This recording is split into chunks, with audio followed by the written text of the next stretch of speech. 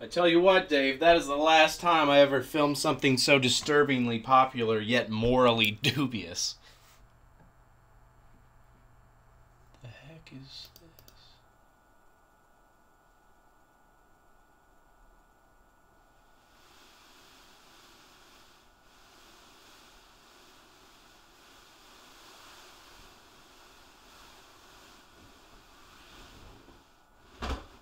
Dude, what the hell? Are you taking my bed sheets off? No, oh, I think a demon, not a ghost, did it. Ugh. Yeah, you're probably right. That's already happened to me twice.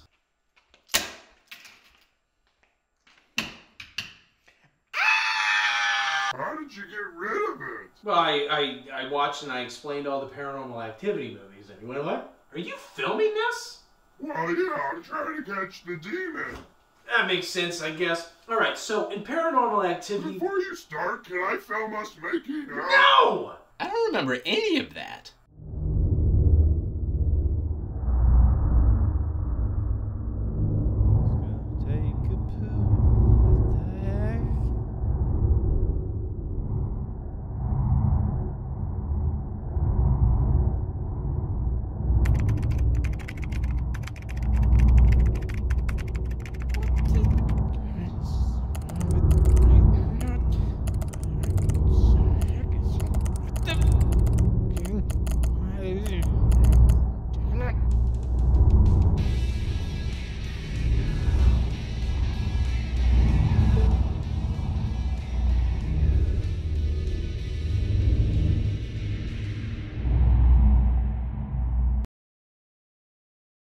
Got to tell you, I am not the person to help you in this situation. This is not my area of expertise. Oh, a disclaimer. Thank you, Paramount, for showing us a tightly edited 86 minutes of a real murder and demon possessions. Spoiler alert. You're spoiling everything. If I thought you released an actual snuff film into theaters without asking permission from the family, I would be very upset. Disappointed! Oh, uh, Anyway, college English major Katie has a problem. Well, I guess two problems, since once she graduates, she'll basically be unemployable. I, know this because. Well. I'm an English major and hoping to be a, a teacher soon. really? Oh, wait, I guess three problems, because she also can't correctly pronounce her boyfriend Micah's name. Hello, Mika. Tisa, Mika, Gigi. What the hell is a Mika? In this particular instance, a Mika is apparently a day trader who has purchased a decent-ish camera and who hopes to film evidence of some of the weird paranormal activity that's been going on in their new house. Hey, that's the name of the show. Which is the the third problem that Katie has is the the the, the paranormal the activities. We're gonna have a very interesting time capturing whatever paranormal phenomena. He didn't. Damn it. Mika is so upset. Mika struggles to gather any concrete evidence of this activity, however, because his hands are shaky as oats. Like Quaker oats, like Quakers. Just Google it. Of course, I've known that for a long time. Eh, Like, if this were the Book of Eli, Denzel Washington would have shot Mika in the head like a hundred times by now because Mika is definitely a cannibal. Eh. But no, the maybe demon wants me to watch paranormal activity, and in the world of there, it's September 18th, 2006, which is the day that Edward J. King, the 66th governor of Massachusetts, died. So I'm gonna assume that Ed is the one doing the haunting. Also, we're in San Diego, and Katie has both a pretty sweet car and a pretty okay butt. Oh my god. And I know this is a dick thing to say, but when I first saw this movie in college, I'm fairly certain I spent the majority of the runtime trying to figure out how attractive I personally found Katie. Eh, Not the most progressive thing to do, What, what is this? Looks like your feet. They're but there was very little else going on in the actual movie, as you'll soon learn. So in the interest of gender equality, I'll allow you all to spend the rest of this video deciding if Dave is attractive or not based on his sexy voice. You can give Dave a taste of my own medicine. What do you think, Dave? Say something sexy. Like in a sexy voice, or Yeah, like, you- That was it. That was perfect.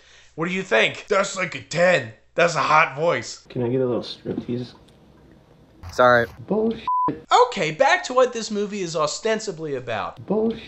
but also the ghost. There's some weird happenings happening in their house. Amika is like, maybe it's one of the neighbor kids stalking you, Katie. And Katie's like, Well, unless that kid has been following me around since I was eight years old. we'll explain that later because right now, Mika's playing unplugged electric guitar. Oh my god, they hear something!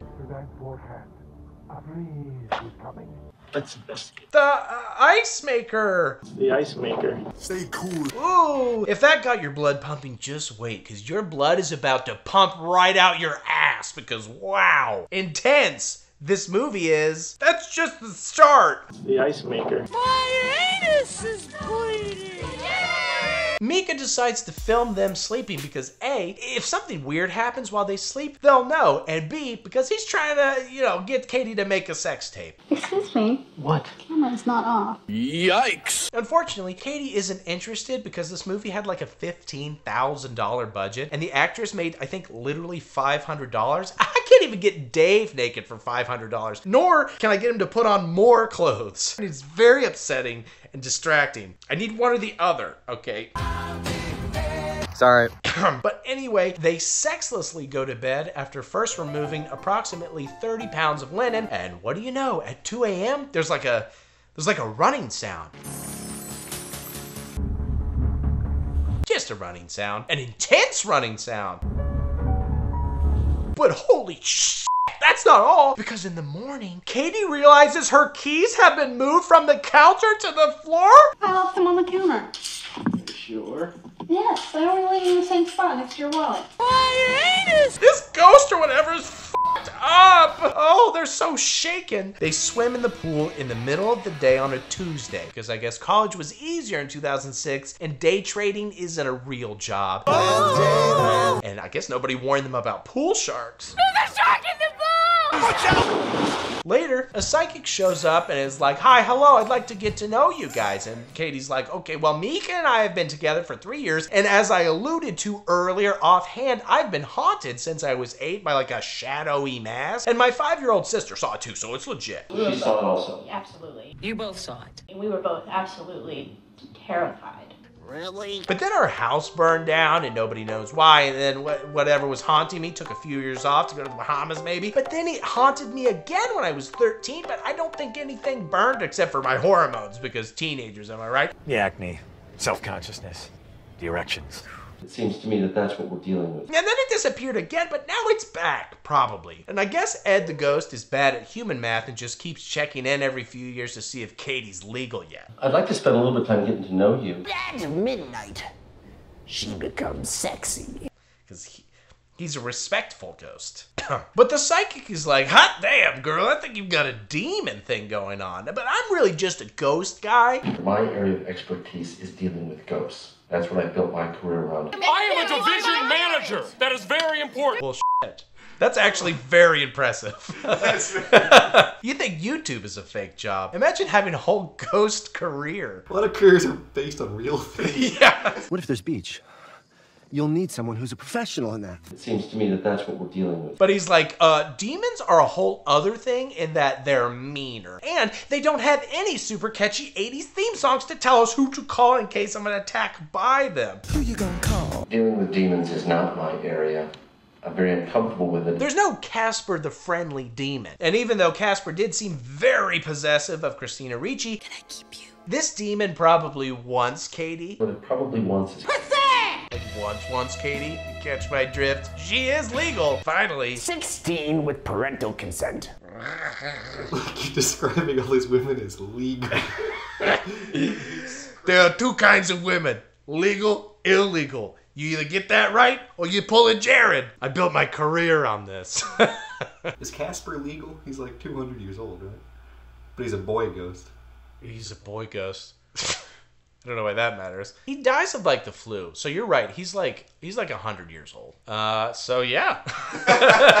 Only backwards. but the real issue is not whether Casper is legal. He has no rights because he has no soul. He's dead. We're allowed to show him nude because they ain't got no soul. Christina Ricci is a child. So he's like, hey kid, I'm a hundred. It's like a Twilight thing, right? He looks like he's 15, but he's actually 130 and has seen a lot of shit.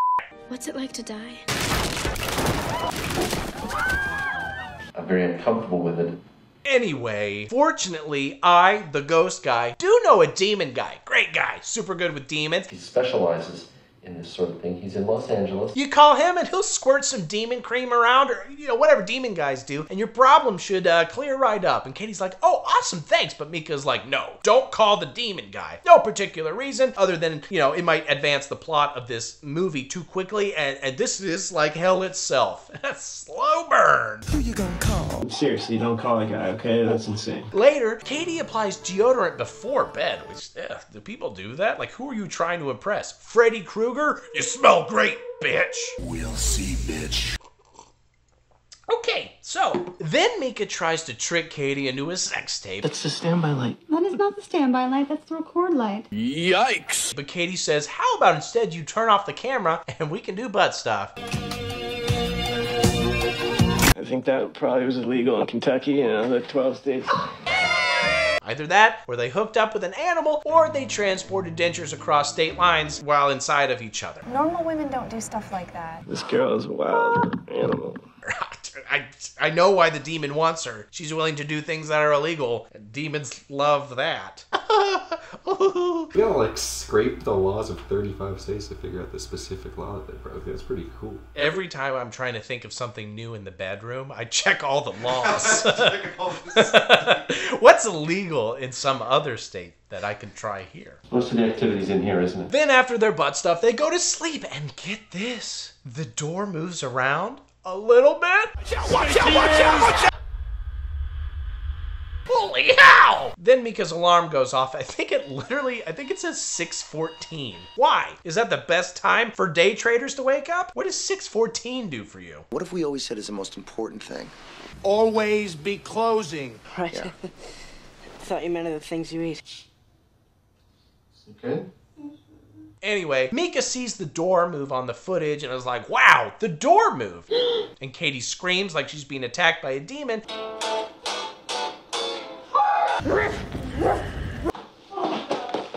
Because she saw a spider, You scream like that for a spider? I'm excited. and a spider is 10 times scarier than this freaking door squeaking, key moving demon. Hey, tell me what the point of this was. Later that night, Mika reads a book and comes to literally all of the exact same conclusions as the psychic. Almost verbatim, he said, It's not a ghost, it's a demon. Demons are bad. They're worse, even. The difference is that a ghost is like a human, but a demon is like a demon. It's not a human. It's just, and so therefore it's more mean, I guess. Well, that sounds actually like a demon. Yeah, that's what he said.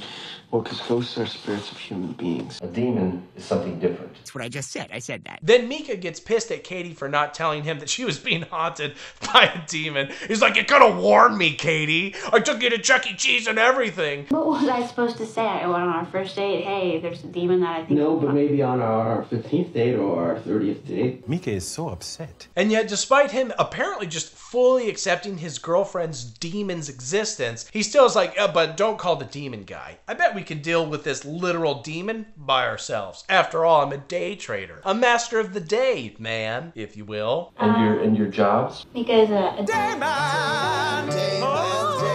That night, Katie has a bad dream. Cause I was a I had the same dream. You okay?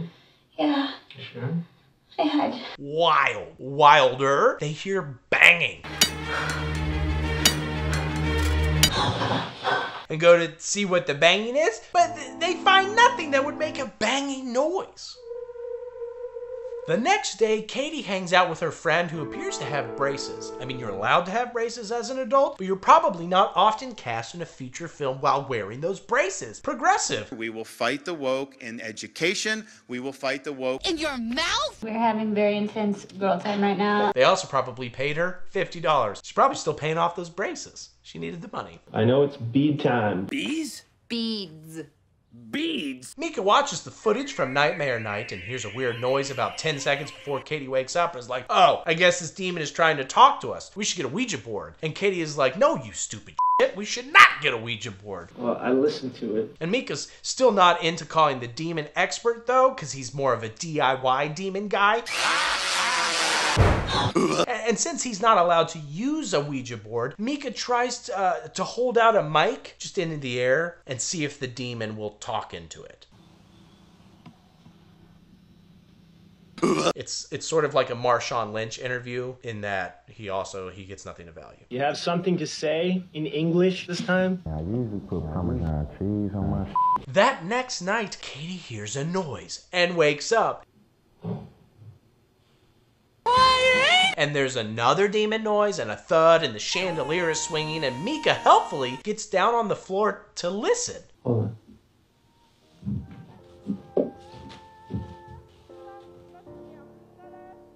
Just, just in case this is an Indian in the cupboard scenario, and the demon's like two inches tall and hiding under the bed. But unfortunately, Mika learns nothing of value and is shot by zero tiny arrows. Not this time.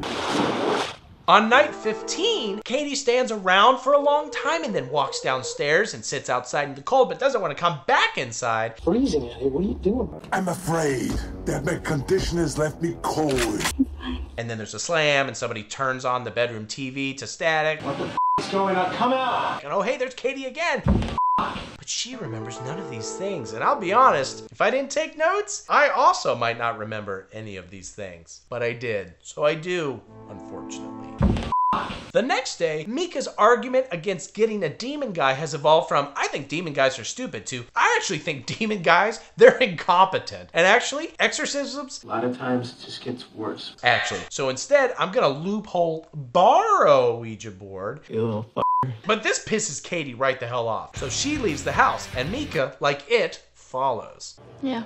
It's probably taking a shit right now. You're gonna throw it away. Of course, that doesn't stop Mr. Demon from having some fun, so, sh- you know, sh- gets windy and the Ouija board catches on fire for a bit, but it's one of those non-damaging fires that actually just sort of etches sketches some weird symbols, and Mika's like, oh, tight. Katie, check it out. I don't give a f- So Mika states to the camera that he's gonna try and be better about, I don't know, pissing off demons. I swear to abide by Katie's rules and regulations ac- of. Every relationship goes through this exact same phase. One of you always wants to anger the spirits, and the other is much more hesitant. Been that way since Adam and Eve. And fun fact about Adam and Eve, they had kids. Cain and Abel, they were born. They count. And I also have kids, and I need to feed them before they murder each other. Sign up for my Patreon. Hypothetically, the future can be better. But then Mika dicks with the board some more, like Eve dicking around with that snake apple. Whoa, whoa, hey, whoa, no. What? Not supposed to do that. You're done playing with it. I want it out of the house. Oh, and also the friend comes back over and is also very down with the idea that there's a demon. Not a single character in this movie is skeptical in any meaningful way. They're just like, ah, demons? Bummer. I had one last week. He moved my keys. I couldn't find them. I hate when that happens. What am I gonna do? Go to your house and mess things up for you? Where the f are my hard-boiled eggs? It is the work of Satan. You might be wondering why they don't move at this point, but it's because the demon is following Katie and has like a million American airline miles. It'll just follow her wherever. It's not like that. The miles are the goal. So to combat this supernatural, malevolent force, Mika pours some baby powder on the floor in case the demon, you know, just is mad because he has a, a fire rash. But that night, something walks through the baby powder and leaves some bird-looking footprints. And if it turns out that they're being haunted by Big Bird, I'm gonna submit this to the Guinness Book of World Records for the best, greatest film ever. You did it! Congratulations! World's best. Bullshit.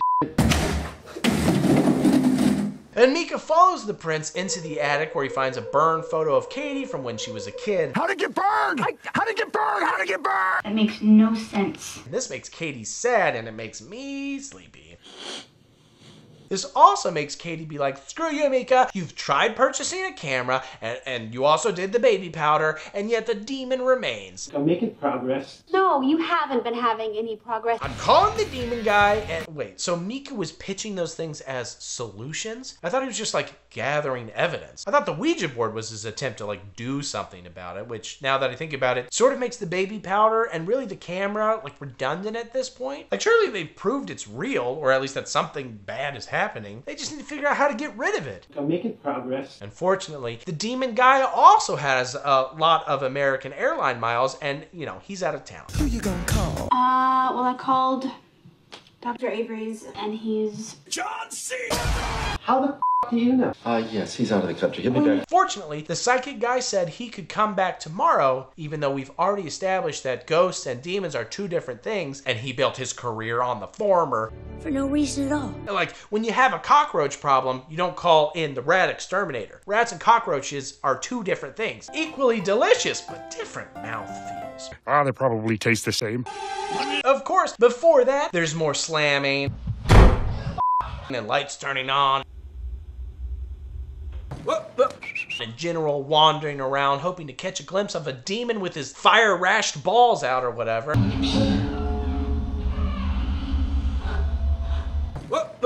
And at one point, Mika even hands the camera to Katie. Mika, don't, come on. I'm honestly pretty surprised that she hasn't like flushed the camera down the toilet yet. Surely all the filming is pissing it off. I mean, look how crazy the Kardashians get whenever a camera is around. Stop!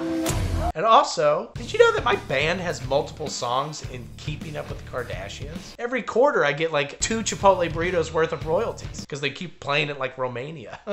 Is that why you always show up with Kim and she hangs around? yeah, yeah, that's why, yeah. Kim's always behind the camera. I wrote this when I was like 19. He's still our dad, and we love him. Jump into my arms. Oh, it's so powerful. It's in montage.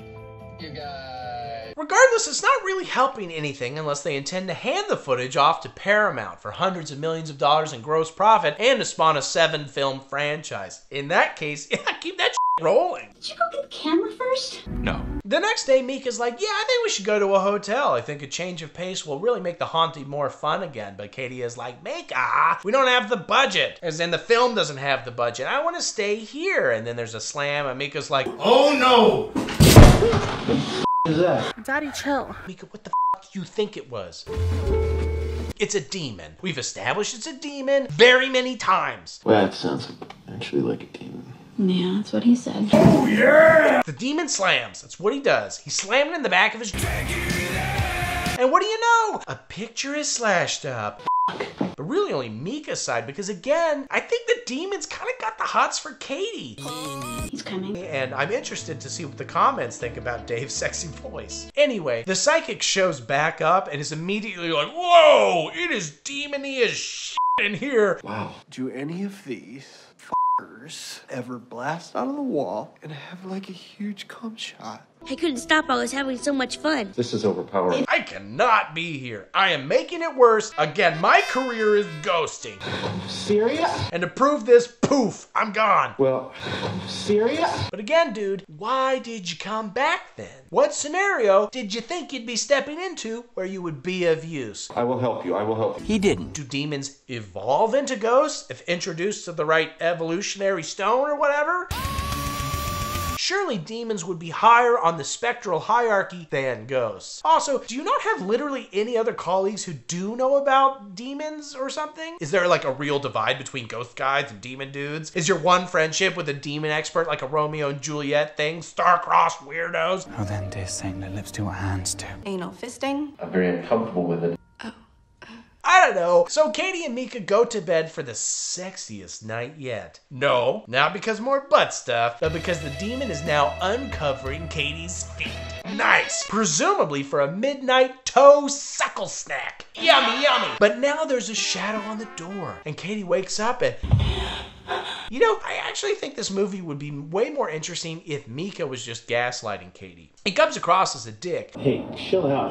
All right, I'm trying to help the situation here. But I wish they'd fully lean into it and turn this into some sort of elaborate torture from the mind of a bored ass day trader. But No. the next day, Mika finds a website that says a girl named Anne had pretty much the same thing happen to her in the 60s, but calling the exorcist didn't work, and I guess she died. But as Katie points out, She's pretty.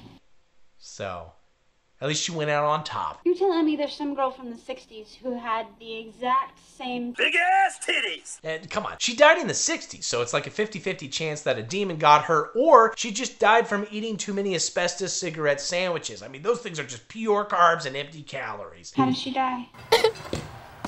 They had no regulations then. Butt stuff all over the place. Sexual favors, but he's just a boy. But we are British. Touche. Katie wants to study. Mika, please, will you give me five minutes? But Mika does not, and he's mad and she's sad, and it's intense. Mika is so upset. Because that's like half of all the known emotions in one scene. Will you stop following me with the camera? My emotion! What a deal. Later that night, Katie is fully dragged out of her bed Mika! Mika! and bitten in the in the back. Right? You, do, you don't see it, so it's not illegal in this state. And I feel like this movie is actually just an extended metaphor for sleep training kids. The next day, Mika's like, okay, we're leaving. But Katie is like, no thanks, I'm comatose and grabbing a crucifix so hard my hand is bleeding. And Mika's like, well, forget calling an ambulance or something. I'm gonna burn that attic photo. Suck it, demon. Katie says that she thinks she'll be okay, but I think they will not be okay based on the past three weeks of, you know, whatever. Sure. But Mika's like, you're probably right, increasingly insane girl who recently gripped a crucifix so hard she bled all over her leg. Let's just go to bed. They fall asleep pretty easily compared to the situation they're facing. And Katie wakes up and stands over Mika for a while and then heads downstairs and screams like a lunatic, causing Mika to run down after her. And then it's eerily quiet for a few minutes until a blood covered Katie hucks Mika's body at the camera. What the hell was that? And smiles in a real demony possessed way. And then some text explains that three days later, cops found Mika's body, but that nobody has ever found Katie or her body. A- And then a little bit later, some more text says, "Oh, this is all fake. Lol, don't sue us. We didn't. I, this is not a stuff film. They, they're not dead. Maybe." I'm done. Oh, I, that was so hot. It was so hot. Yeah, I think a demon's in there. It's too hot. Why, why were you coming into the bathroom with a camera? Oh my god! What? Oh my left! Disgusting! I'm gonna throw up! All right, just so nobody yells at me, my guess is that the majority of these from here on out are the unrated slash slightly longer versions because, you know, BitTorrent gives what it gives. You don't ask questions. Whoops. Besides, if Dave's PC melts, it's probably because of all the other stuff on it. On that note, Paramount feels really bad for all the definitely real people who died. Also, I, Jordan, am sorry if you're like, haha, dead. Like, bro, that's so funny, I'm dead. If you are that, then here's a statement for you. Sorry, you're dead. Dead. We quickly meet a baby and two parents and an older daughter, Allie, and a nanny named Martine who speaks primarily Spanish, Es un bebé muy especial. and a dog who probably doesn't speak any language, No, no. although watch to the end to find out. And a couple of clarifications. This is a dirty daddy, Don't be on my seat! and the baby is named Hunter, and the sister is the dad's kid, but not the mom's. And also, the mom named Kristi is Katie from the first movie, sister. And twist, this definitely not a movie, just actual crime scene footage we've released in theaters, is just about a month or so before the last movie, except for this part that you're watching, which is like a year before. Because like I always say, prequels make for the best sequels. Why go forward when you get when you can do the opposite of that? The terror begins almost immediately with an inexplicably open door Hey, somebody left the front door open. The scary door. Don't do that. And this 50 inch monster. No, Dave. I'm not talking about me. Put your pants on. You jerk off. God, what's with the salad dressing? Again. Phone Newman shaking it frantically. You're gonna lose your fridge privileges, mister. Uh-huh. Oh man, these producers really know what makes a movie a good movie. A definitely, probably attractive woman with huge background knockers and soft, firm, pillowy focus. Art, thy name is Big ass titties. There we go. Pretty cool that Katie and her sister are both hooking up with dudes who are as into home videos as they are huge facades. Yeah, play with that baby. My sister did good. Now it's maybe a year later, or otherwise Hunter has just eaten a ton of beef because Kid is freaking huge. Es un bebé muy grande. And the house is also inexplicably trashed, either by burglars who apparently didn't steal anything, or possibly by a big ass baby hunter on a tear. I guess it could also be a literal demon, but that'd be crazy. Right? Oh no, of course not. That would that would be ridiculous. Daddy hires a couple lesser members of Creed to install security cameras around the house in the hopes that they'll make footage that's slightly less nausea inducing. We failed. Higher budget equals higher camera count and more shots of a pool at night. Oh shit, did the light just go out? Man, I hope we see a static shot of a pool literally every single night for the rest of the movie. And then maybe if we could follow it up with some static shots of the kitchen and the living room. Oh, perfect. There's nothing here. There's no, oh, no, there's nothing here. Every night we have to do this? Just cut to the interesting one. The dog tries to get into the basement, probably in the hopes of finding a more interesting movie down there. But no opposable thumbs means no dice. There can be only one. Hunter's high chair falls over on its own. Watch out, watch out, watch out, watch out! Probably spilling Cheerios everywhere because this demon is next level. You just not care about the rising cost of groceries impacting the American family. Aw, everything's fine. Those look like actual Cheerios too. None of that off-brand value knockoff shit. Not cool, Ed. That's sick. Later, Martine tries to bless the house or whatever with both hand motions and apparently with a massive shit. Look at what Martine left. Oh. Disgusting. I'm gonna throw up. Like in all seriousness, are we supposed to believe that the haunted ghost literally took a shit in this toilet? There's like a live crawdaddy in there. Or was it the nanny? She clogged it. I can't. Or was the daughter just lying? That is horrible. You're grounded. Or the dad? Like, There's a stenchilada. And I can smell an evil slut. they never explain it. Like, what am I supposed to feel here? You are grounded. Awful. This is the best bath. I don't remember Lucifer taking huge shits in the Bible, but that doesn't mean he didn't in some, you know, apocrypha writings. I hope you're not using the toilet, it's broken. Huh? And then Micah comes to visit. The movie's like, oh, right, he dies in 60 days. What a legacy he's left behind. If I get murdered by my demon girlfriend, I'd prefer if my cameo appearance in a prequel crime was introduced with Jordan made some really funny videos and lots of people really enjoyed being subscribed to his Patreon, which helped pay for his three children's food. Just spitballing. We also learned that this handheld camera is the origin story for Micah's fascination with handheld cameras. I might definitely start to replace my girlfriend with this camera. Finally, the question has been answered. I'm definitely getting one of these. Have you ever had a dream? Also, Daddy apparently runs at least one Burger King, I don't own like every Burger King. and yet he is not the Burger King. Actually, he's not actually the king of Burger King. That's why their house is is so nice, I guess. Man, I need to hostile takeover an Arby's or something. A pack of wild dogs took over and successfully ran a Wendy's. But no time for that. There's more horror. Kristi hears something, and then she looks around, but she finds Nothing. Oh wait, no, the baby mobile spins a little bit. Twisted. And later that night, the kid maybe waves at something because the real monster in this movie is being kind to others, even if they're of a different plane of existence than us. Wow, movie. Making a mountain animal. The next day, they find the infamous Katie as a kid photo, but it's not burned yet. And they're like, whoa. I thought we lost all our pictures in the fire. And then maybe the mirror does something. And Martine's like, this is too much for me. I'm gonna spray candle gas everywhere. And Daddy's like, what the hell, bitch? Candles smell like shit to me. Think you're so smart, huh, bitch? I work at a Burger King, so I want my house to smell like chicken fries at all times. And he full on fires her ass. And this makes Allie sad, It wasn't witchy. She Well, was, what was it it wasn't hurting anybody. but he cheers her up by showing her that he figured out the night vision settings on his handheld camera. Check this out.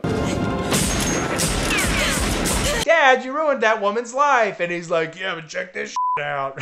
I can see you in the dark. Windows open. Doors open. My bowels open. Oh my god! From fear. Disgusting! And also Burger King. I'm gonna throw up. A drunk bird DUIs into the window. When a pan falls in the kitchen. Twice. My god, these people are so brave. What a brave family. They're like the toaster, but a family. Well, well, well, well, how do we escape? Later, a pan immolates itself in protest of this boring ass movie. An imperialist daddy chucks it in the pool I protest. where he sees Allie getting raisin fingered by her boyfriend. And always said goodnight, Crab. That's a, that's a sentence that will never be written ever again. Those are radioactive. I don't what does you're allowed to do raisin fingered mean? Well, they were in the hot tub. so his fingers are probably, you know how they get raisiny? I was thinking that raisin man from the. Yeah, he was in there.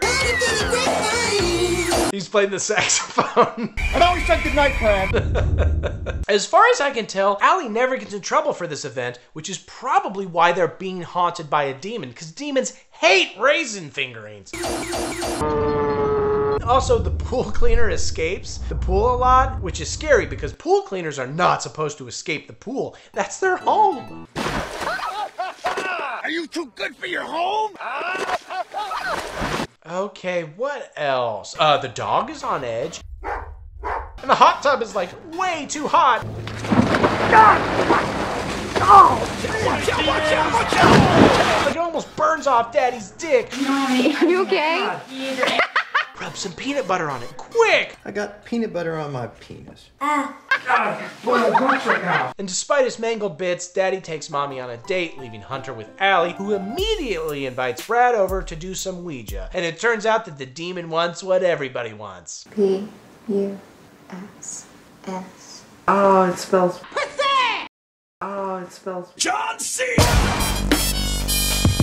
And I mean, yeah, look, while she sleeps, her crotch is attacked by a shadow. That's why I always sleep in a vacuum sealed jockstrap. That, and because sometimes Dave escapes from the basement at night. You can never be too careful. Dave? Allie hears a noise and goes outside to see if it's another drunk bird or like a cocaine bear or something, but oops, she gets locked out. She half acidly tries to get back inside. But actually, when the parents return like two hours later, they can't even find her for a while because she did not try very hard at all to get back in. Could she not go to a neighbor's house and use their phone or break a window or something? Like, you probably shouldn't leave that big ass kid in there alone for that long. And that's even without him getting dragged around by a demon. I don't know, whatever. Hunter is back in his crib after exploring the house for a while. I mean, is a demon why my daughter used to get out of her crib all the time? That would explain the time that she pooped in it because demon shit bad. And a lot. That's lore. That's canon.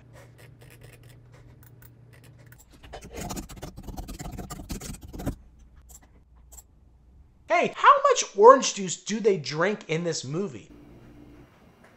That's too much juice. Like, are demons for or against orange juice? Are they big on migrant workers' rights? If so, that's just another reason for them to be pissed at this family. Allie is a bit freaked out by all this stuff, so she grabs the home video camera and records her scared thoughts. And what are her scared thoughts? Well, I've had a couple of dreams where my teeth are falling out, which is really weird. That's not weird. she's been having bad dreams, and the internet has told her that she's probably being haunted by a demon and not a ghost. And also, hey, did you know that It has been said that if a human makes a bargain with a demon for wealth, power, or any other benefit, they must forfeit their firstborn male. No, Amish boy. Girl childs are gross, but boy childs are great for demon trades. Wow, hell, sexist much? Yeah. And hey, what do you know? There hasn't been a boy baby on Kristi's side of the family since 1930. Could her great grandmother have traded a future boy child to make the Great Depression suck less? What if Kristi's great grandmother made a deal with a demon so she could get An erection? No. Did she invent Rocky Road ice cream, which is no joke named for the Great Depression? As in, yeah, it's a go- it's gonna be a rocky road up ahead, but at least you can eat my shitty ice cream. You cannot resist ice cream. Everything's fine. Did she trade her boy relative for chunky goodness? Your existence is meaningless without ice cream. Later that night, we get the same establishing shots that we've seen 48 other times, and Allie hears something. I think I just heard something. And she follows a weird toy around because she has the survival instinct of a gazelle running from a lion into a barbecue sauce factory. Can you believe this movie only took three weeks to film? Two of those weeks must have been getting this this awesome toy shot. Like, how's it moving everywhere? Movie magic. Katie and Kristi chat later, and Katie's like, I remember you crying all the time. Stop talking about this demon. God, do you want to end up like mom? I remember that you stopped talking for months. I remember weird people came to our house and our mom was upset all the time. And oh boy, I smell another prequel. I hope we keep going further back in time until they just paint the story on a cave wall. Just like 393 sketches of rock doors rolling open of their own accord. Oh my god. Paranormal Activity 77 is going to be about how Jesus' resurrection and the empty grave and the stone rolled away was like a demon thing, isn't it? The body of our Lord was. Mel Gibson to direct. This is going to be a very controversial film. But for now, we get to watch a woman make tea, pretty much in real time. Even the demon gets bored with this, so he explodes the whole damn kitchen. This scares Kristi so much that she cleans the kitchen, which makes sense because the only way I get motivated to clean is if a demon haunts me for three weeks and then explodes my kitchen. And yeah, the demon just realized the movie is almost over and he's done basically nothing except shit. Hey, bitch, we all do. So he gives the dog a seizure or something. And when Daddy and Allie take her to the vet, the demon just drags Kristi all over the place. Up, down, basement, you name it. Drag, drag, drag. The next day, Daddy is is like, look, Kristi won't get out of bed, but the Burger King, he must be served at all costs. So Allie, can you please watch Hunter and just make sure your stepmom doesn't do anything crazy. I'll be back once His Majesty is satiated with enough burger sales, and she's like, okay. But then she sees a bunch of scratches on the inside of the basement door and a bite mark on Kristi's leg, and she's like, I don't like that. No, thank you. Daddy finally returns, and Allie shows him the footage of Kristi getting dragged, and he's like, oh shit. I guess we should call him the big guns. And by that, I mean he brings back Martine. I hope she's brought a really big ass candle. Ah, dang it, just a teeny tiny little crucifix. What am I gonna do with this? She's also got a plan to transfer the demon from this family to Katie. Do we tell her? Do we tell her No, we never tell anyone. That is a bitch move. Good grief. Couldn't you transfer it to somebody who really deserves it? Like a child murderer or a Dave? Dave? But before they can finish we transferring the demon, the power to the house dies and Kristi attacks Daddy. And everything is chaos. Control! Eventually, Daddy heads into the basement and finds Hunter. And also Kristi looking real demony. But it's all good because the power comes back on and he puts Kristi to bed before burning the edges of Katie's photo, which is, I guess, how you get access to Supernatural Dropbox. I guess he's the one who puts it in her attic and, like, nice. I know Micah's been putting in her attic for like three years. Oh, wait, that's the top part. I guess it's more of a basement. A power bottom. I don't know where Micah puts it. They always turn the camera off. Kiss the camera. What do you? I'm not kissing the camera. And whatever, that works for a while until the end of the movie when Bloody Katie runs over to their house, snaps Daddy's neck, Kill him now. explodes Kristi with the force, Do it.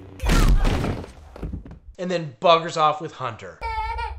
All this while Allie was on a field trip to Jamestown or some shit. Katie and Hunter still haven't been found. Also, presumably, the Burger King has been left unattended and probably died of hunger. And, uh, just kidding, here are the credits. It was fake again, lol. it did happen. It's fiction. I was gonna foot him. Uh, foot, foot.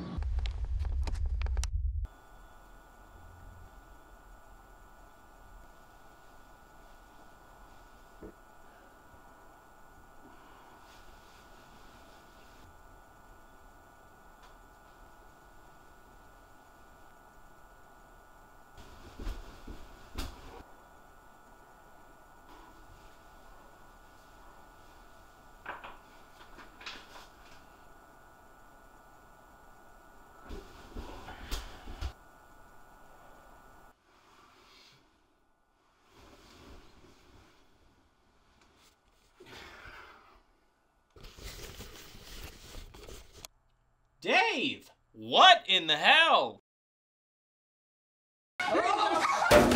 There are no apologies at the beginning of this movie, signifying the end of Paramount pretending that this actually happened, which is pretty lame. I mean, are you telling me that these demon murderings aren't real? Yes. No. Well, there goes Dave's erection. Yeah? Anyway, it's March 2005, and last movie's daddy films Kristi as they prepare the nursery for big ass baby Hunter, and Katie comes over and is like, Yo, can I dump some crap in your new basement of your new house? And they're like, uh-huh. I guess. I have a couple of boxes in my car that I would love to throw in your basement. Is the true face of evil. So Katie dumps a ton of old VHS tapes down there, and she's like, I inherited these from Grandma Lois. Hello there. Anyway, bye.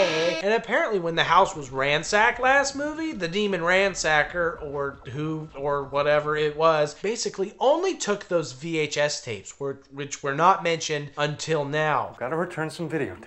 Looks like that's the only thing that's missing. Hey, let's watch one of those. Time traveling noises. People I will remember September 3rd. 1988.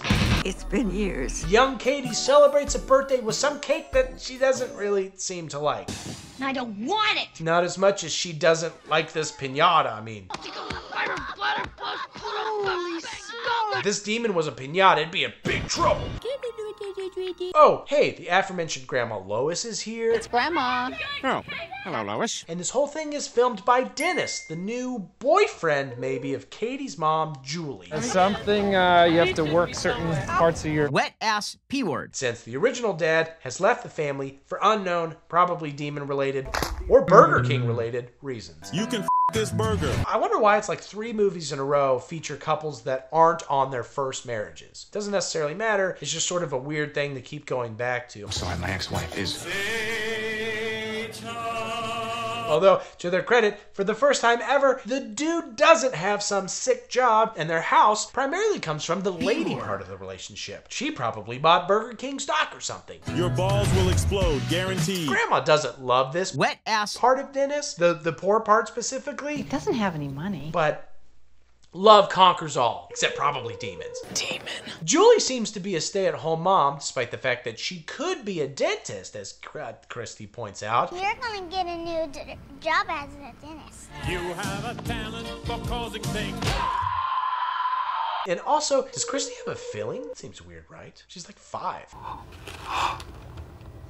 You should floss. Well, it's not as weird as her imaginary friend Toby, who they don't think is real, but I bet is at least a little bit real. You see her? No way. So now Dennis is in the basement waiting for his assistant, Randy. My assistant, Randy, is currently 43 minutes late. Randy is a three-course meal. Together they do wedding videos, and also I guess they prank each other with like a bowl of milk or something on the ceiling when one of them is late. America is a nation that can be defined in a single word. Put him, uh, foot, foot. They have fun. That is fun. They also have footage of boobies. Hey, what if we combine spilled milk and cleavage? Dave, write this down. We're gonna be millionaires. I am delivered. I don't like men no more. Later, Dennis hears some slams or something. A big show with a.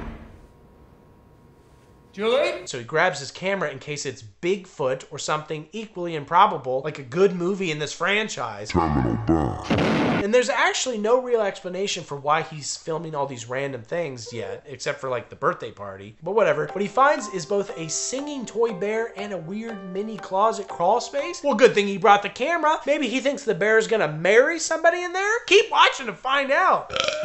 Later that night, Dennis gets Julie to smoke pot and does what every man with a camera has done since the beginning of time and also this franchise and asks Julie if they can make a sex tape. Is that perverted? yeah. I wrote they can make a sex time. Hey baby, you wanna make a sex time? Yes. No. And she actually agrees! Really? Of course, she's pretty distracted, and before they can get all their holes out, they're hit with an earthquake. Which, on the one hand, makes uh, aiming private parts extremely difficult, but on the other hand, earthquakes in many cultures are known as nature's vibrators. That's how they did it on the Flintstones.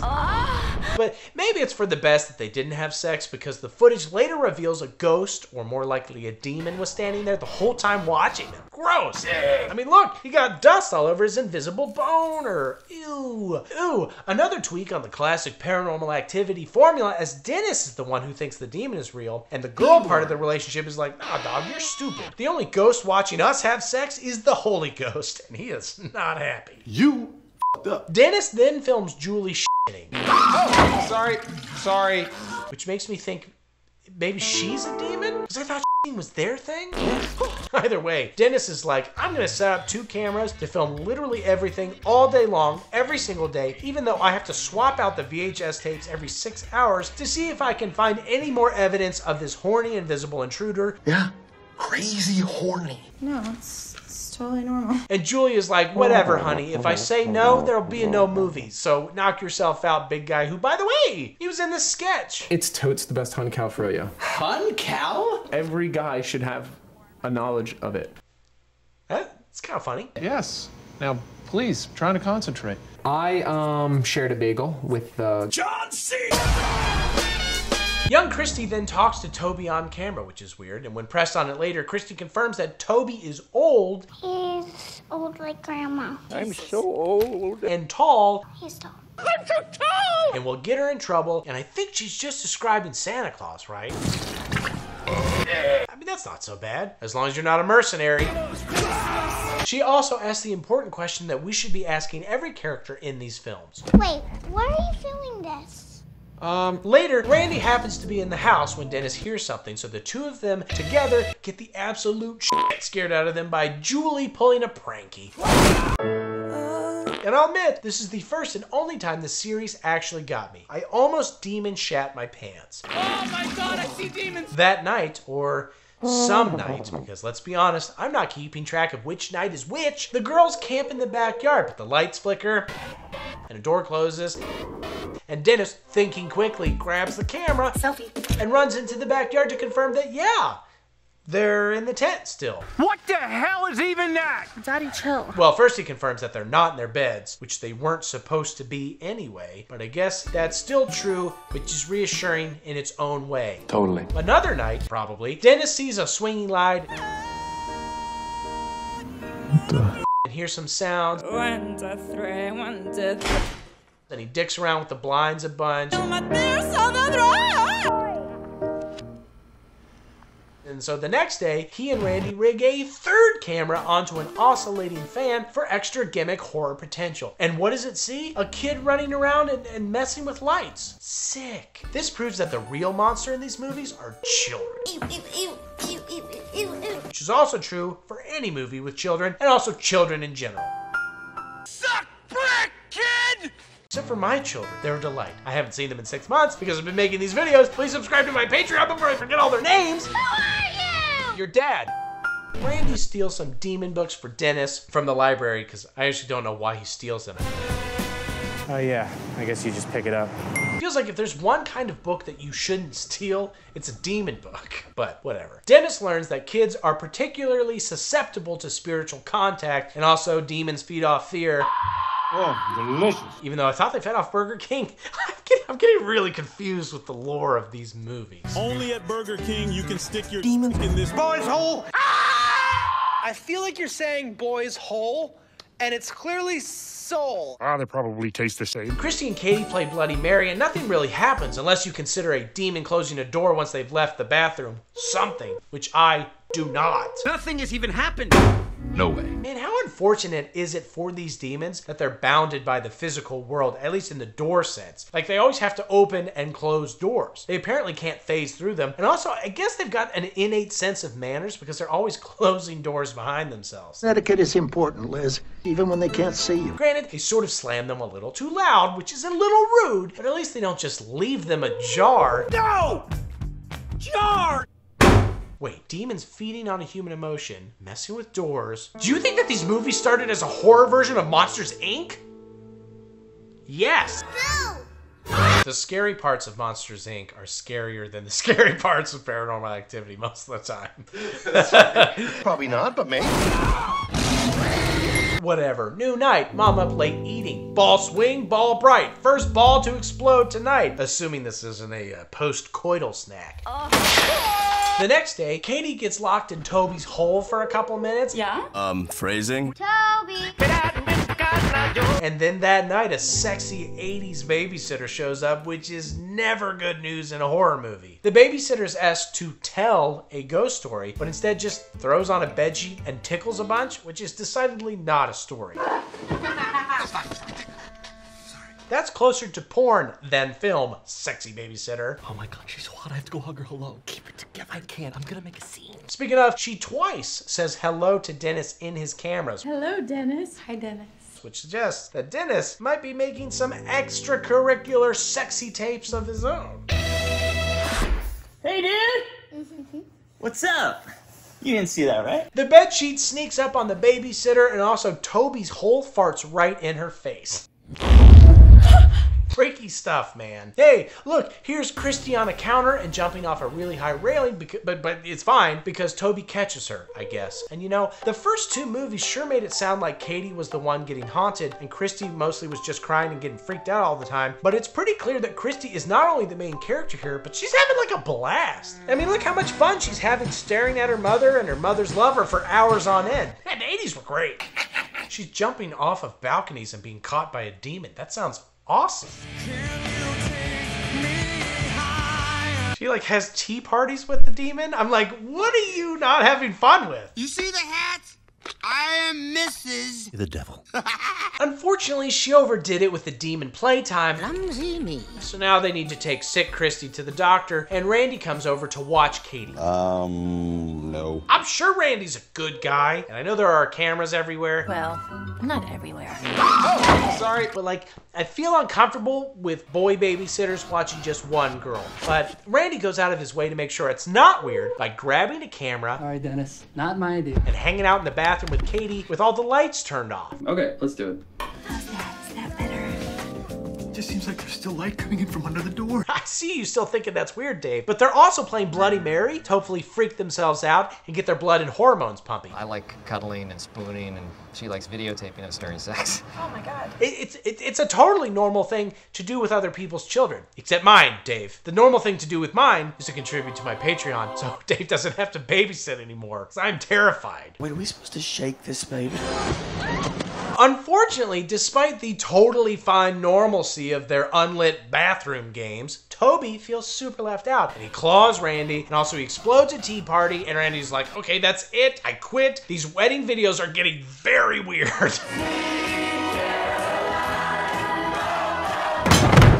Dennis decides now, I guess, to come clean to Julie about all the things he's learned from his stolen demon books. And he also films it because he films everything for some reason. Oh my god. He says, okay, so in the 1930s, there were these witches' covens that brainwashed girls into giving birth to sons and then brainwashing them so that they'd forget all about the sons. And also, then the witches would take the sons.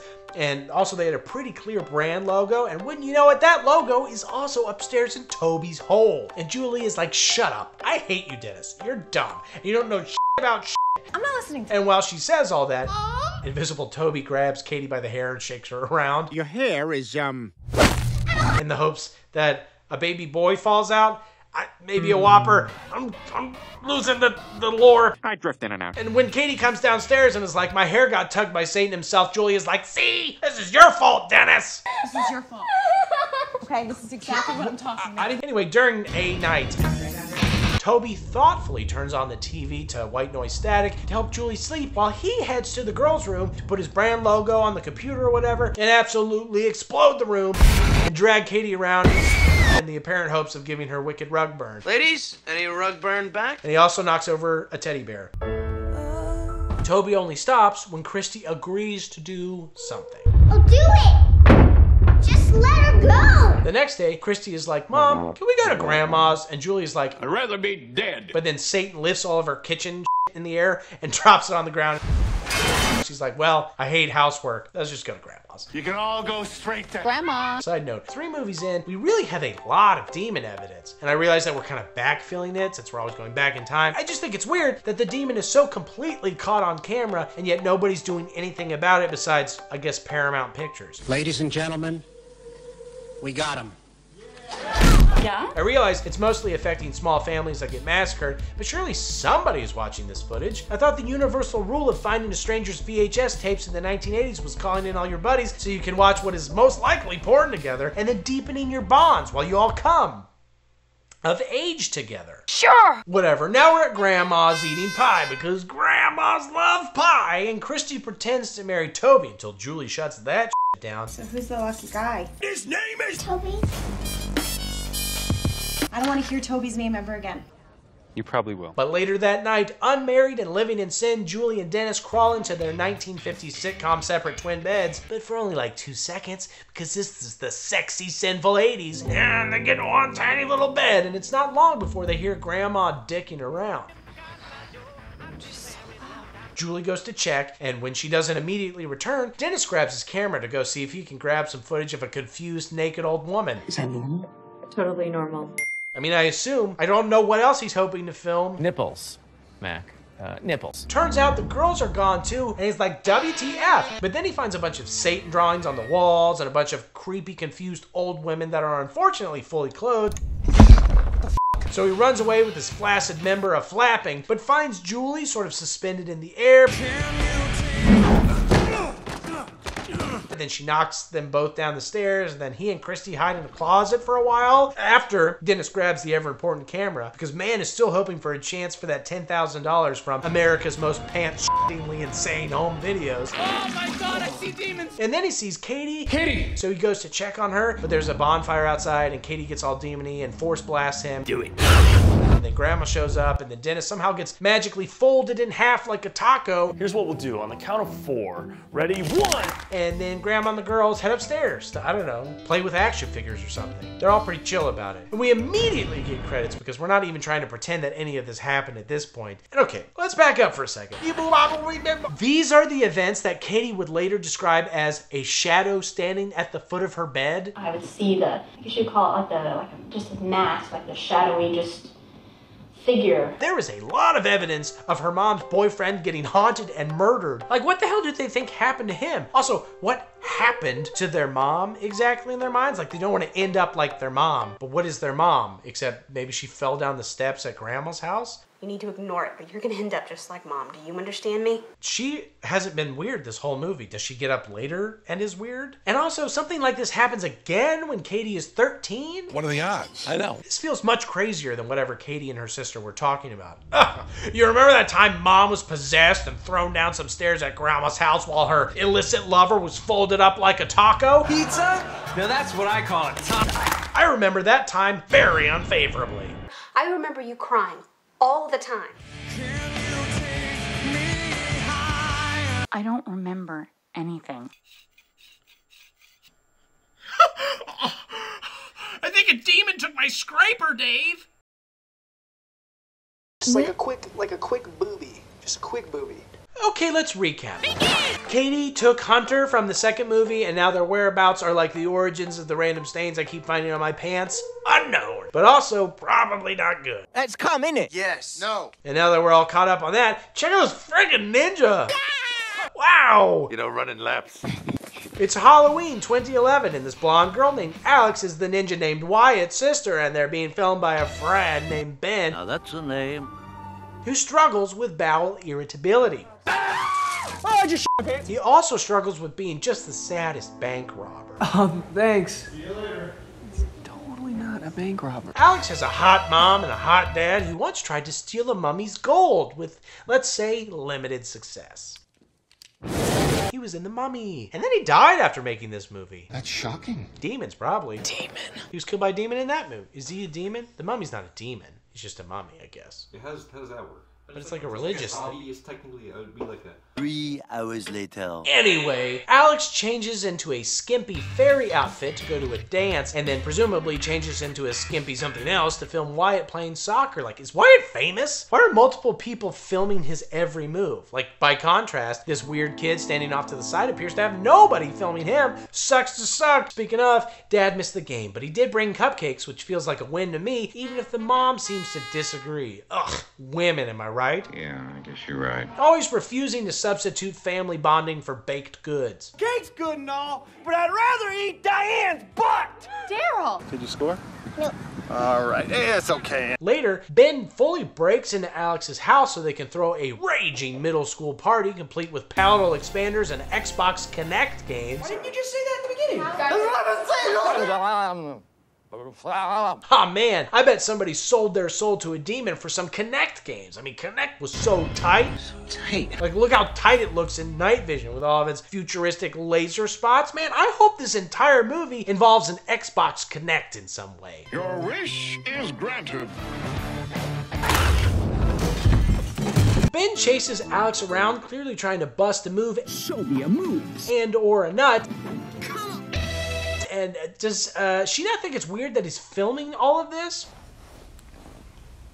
My guy, put down the camera. If you succeed, you're gonna have a crime on tape in like 35 states. And he comes. Believe it or not, jail right away. You're middle schoolers. You think Dave isn't gonna trace this footage down and find out where you live? I'll be careful. Think again. You'll be dead. The next day, the weird kid slips into their backyard playhouse, which isn't a euphemism, but rather a statement of fact. These are good facts. Although Ben believes that this boy has blocked his cock. Oh, thanks for cock blocking me. Yikes. Which is a euphemism for what it's like whenever I go anywhere with Dave. You, Dave! Uh, you're my worst friend. You know what would make up for it though? Just a quick booby. God, you're so needy. Hey, I know they're kids. And Kids are stupid. man, we are really sexualizing this middle schooler quite a bit out the. Oh no! Are we demonetized again? Oh, Dave, run! The cops! Right to jail. Oh, that was apparently just in the movie.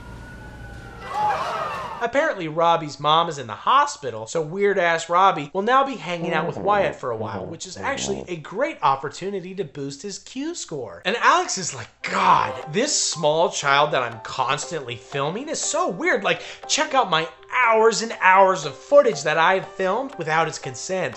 Doesn't he seem weird? The socks with the sandals is my favorite part. I'm normal for filming him a ton, just forever. Oh my god, I love this kid. And, and like, what makes him so weird exactly? His fork that tells the future? Um, it tells the future.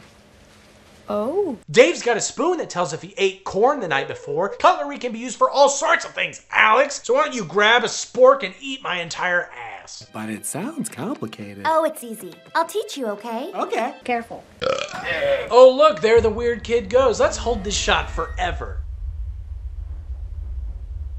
Perfect. We're already demonetized, so hey, Hello. speaking of sexy middle schoolers and crimes, it turns out that Ben records every single video chat that he and Alex have, secretly, including the chats they have where she just falls asleep for hours. I just want you to know that this is something that my computer does. So when I show you this, don't like freak out. Necrophilia is not my thing. She sort of just brushes this off, but like, mm-hmm. don't? Oh, gee, I never thought of it like that. People shouldn't film you when you sleep, mm-hmm. Dave. What?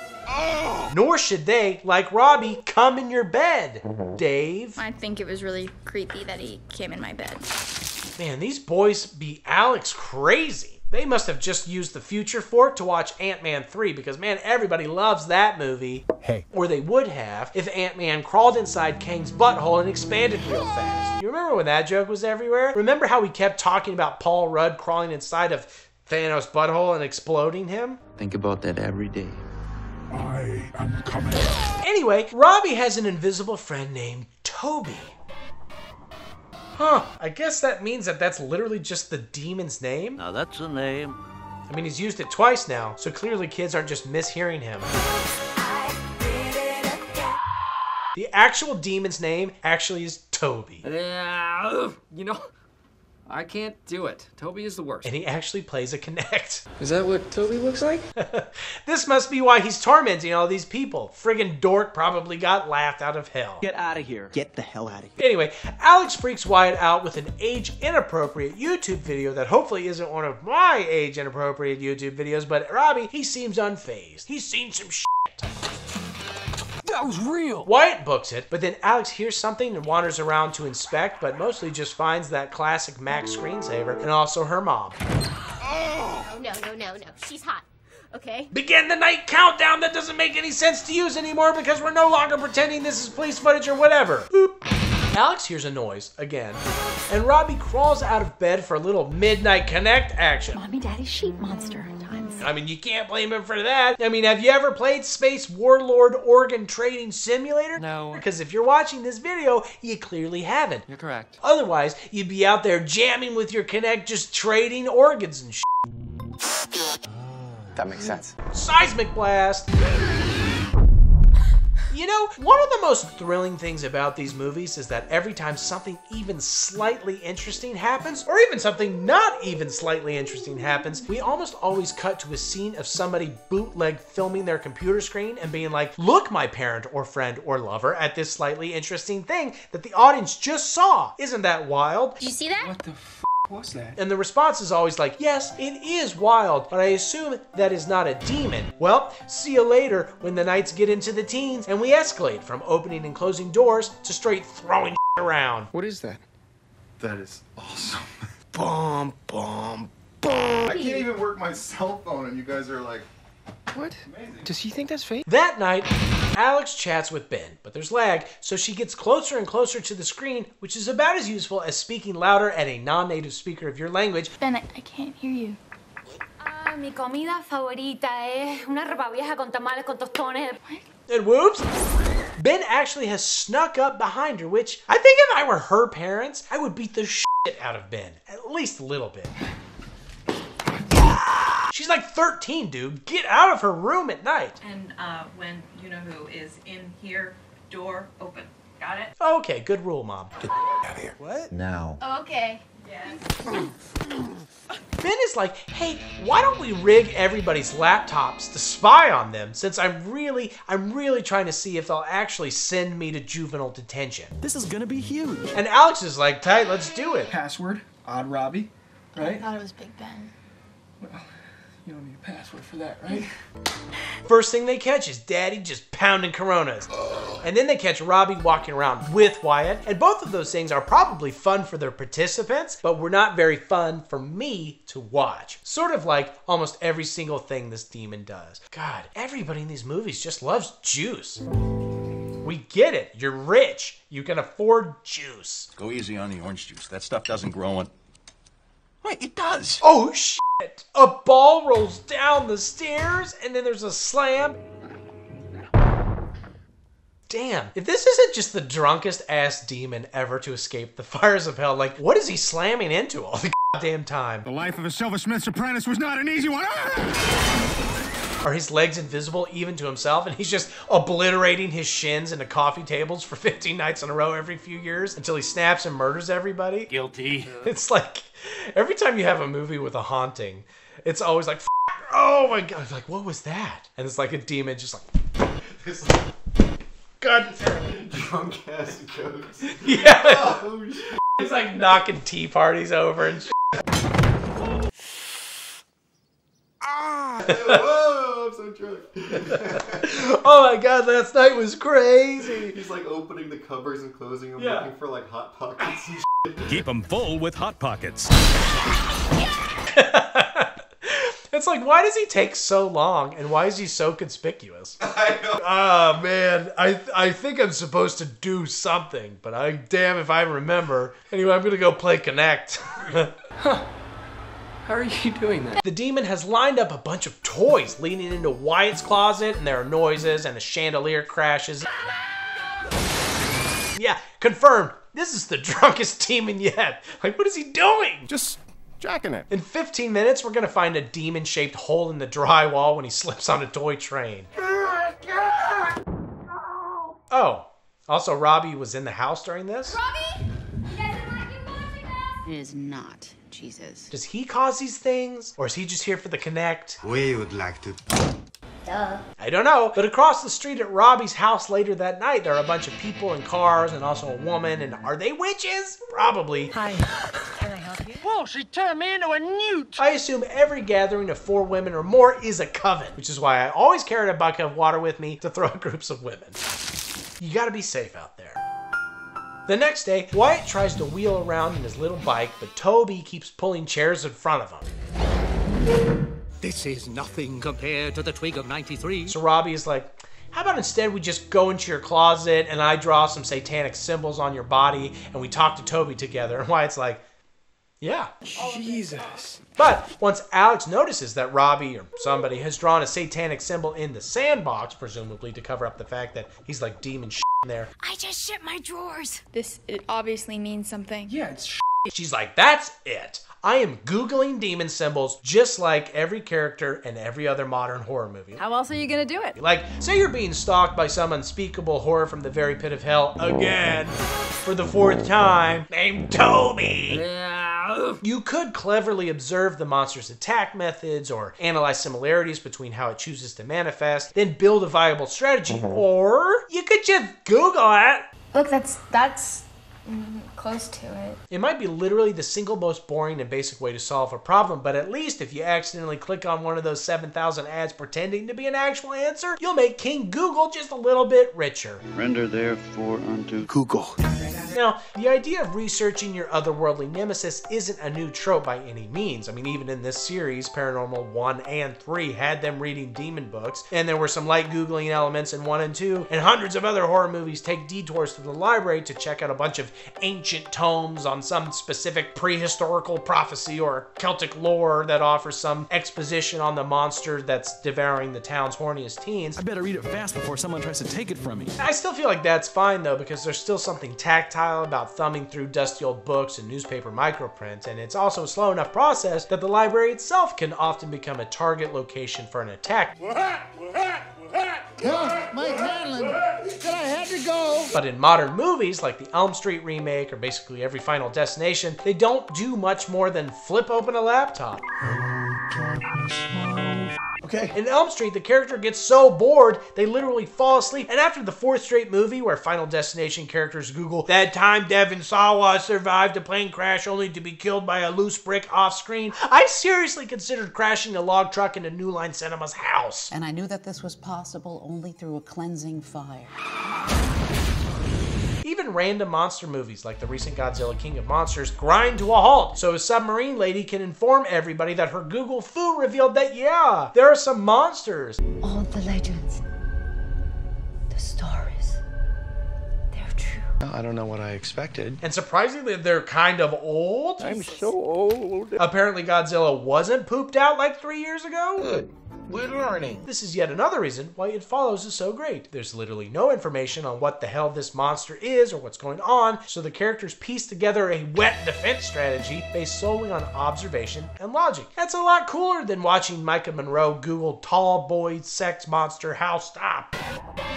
Um, you don't like that dude. But anyway, what Alex learns is that the symbol somehow prepares people for demonic possession somehow, but they're def gonna need to murder a virgin first before that happens. I had sex last night. But he really didn't. Yes, I did. And Ben helpfully offers to ensure that Alex can't be a target, but she declines. Just run upstairs real quick. Ben, stop. We will never come. Is it weird that four movies in, the basic lore here can be summed up as maybe Katie's great something grandma in the 1930s or so maybe sold their soul to the devil to be rich, and now they're being haunted until they can find a boy baby. And also, there's maybe a coven of witches that help demons out, and maybe they need a virgin to get the devil into the boy baby. What you say? Troll. Makes sense. It's not a very coherent nor original bit of lore. Ah, they probably taste the same. It feels like at some point they'll want to actually sort of get into the nitty gritty of what the hell is going on. I mean, you can only show so many doors opening of their own accord before you actually want to learn why. They're not just stabbing everybody to death with their own raisin fingers or something gnarlier. Is that an option? But until then, maybe I can satiate you with a mommy boob shot. Just like a, just like a quick, like a quick booby. Just a quick booby. She tries to cut some peppers, but the demon steals her knife, so she has to get another knife? Oh, that sick bastard! What the f did I do Leave these poor people alone! Oh god, a book falls? Oh god, twice? It's funny that, like, also the book, like, always falls right in front of where the camera is. Like, presumably they have a library shelf, but he's like, ooh, yes, got it. It's like Interstellar. Matthew McConaughey's like trying to teach her how to build a rocket ship, and they think it's a demon. I'm like, I'm not a demon. I'm Matthew McConaughey. I'm trying to tell you how to build a rocket ship. I'm stuck in a black hole, you idiot. Don't let me leave, Later, the mom leaves to maybe go buy another knife, and she's like, Be good, six year olds, as if they're not definitely going to immediately begin communing with a demon as soon as she leaves. How quickly we forget what it's like to be six and communing with a demon with your best buddy. And yeah, what do you know? They immediately run across the street to Robbie's house, where they'll presumably get a better demon signal. Alex chases them and finds everything in the house covered in American Psycho murder tarps, and also that Katie is Robbie's mom? Hello. Does that make Robbie Hunter? Unclear. Well, stay tuned to find out. I'm not so sure we will. The next big ass crazy thing that happens is Daddy hears the laptop go brr. And he goes over to it. And he's like, why laptop go brr?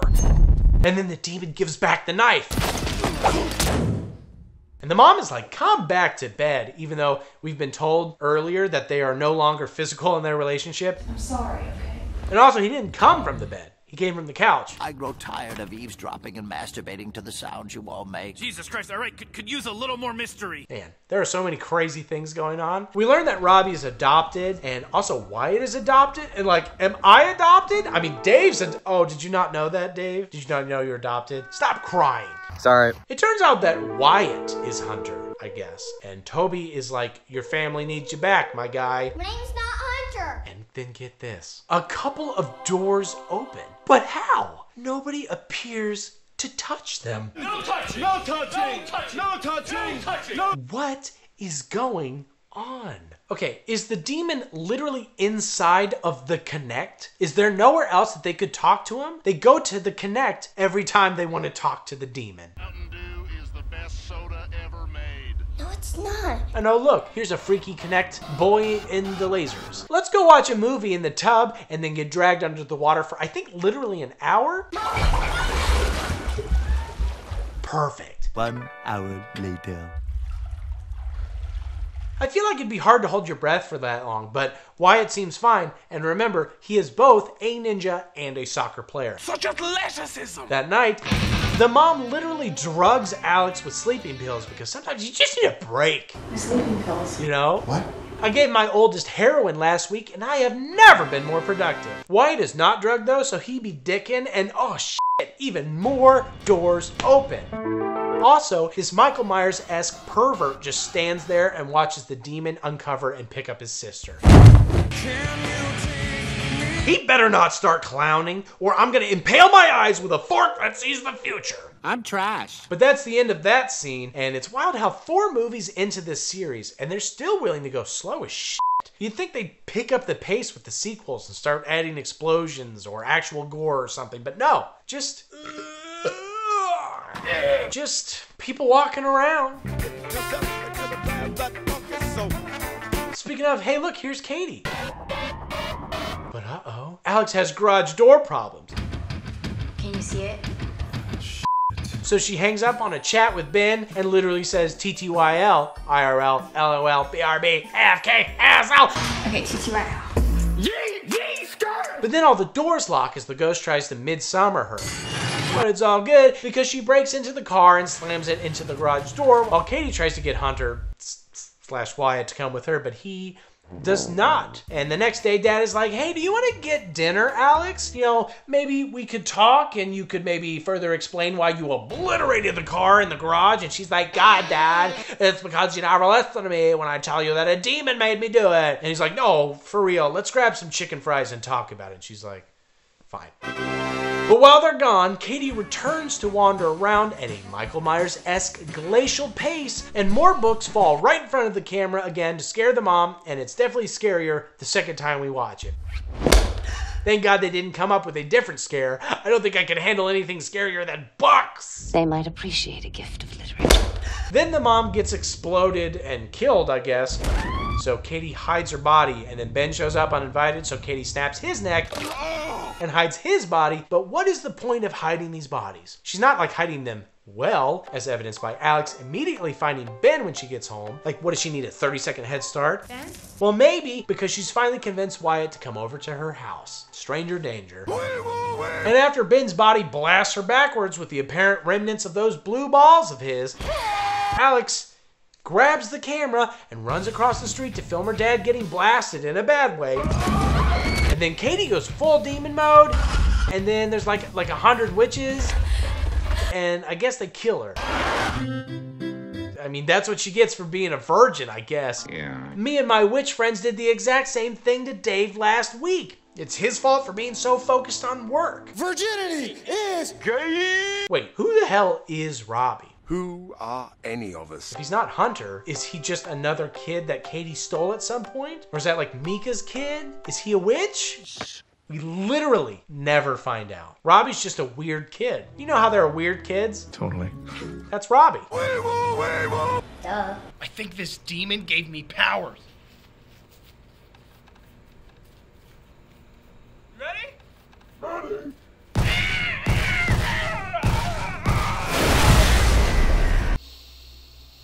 Really feel like I should remember this.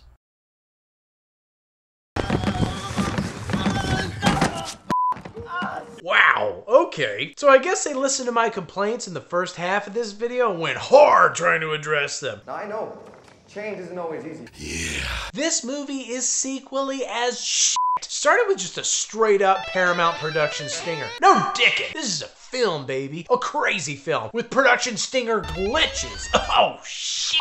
Cut from there to a high school valedictorian and giggling and 2012 and a happy Hispanic family throwing a huge party for their recently graduated son Jesse and his buddy Hector and another cuter buddy named Marisol. And Dave, this is way more fun looking than the barbecue that you guys threw when we graduated from high school. I just wish you guys would put in a little more effort.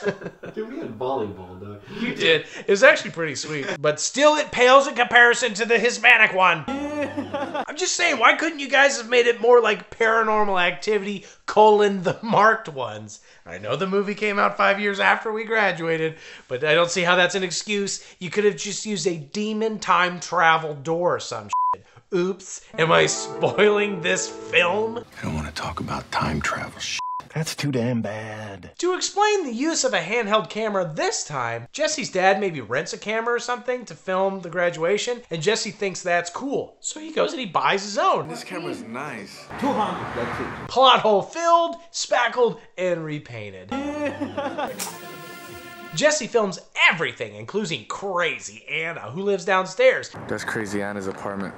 She lives right under me. A power bottom. and his health conscious grandma, who drinks a lot. Míralo, qué chingón.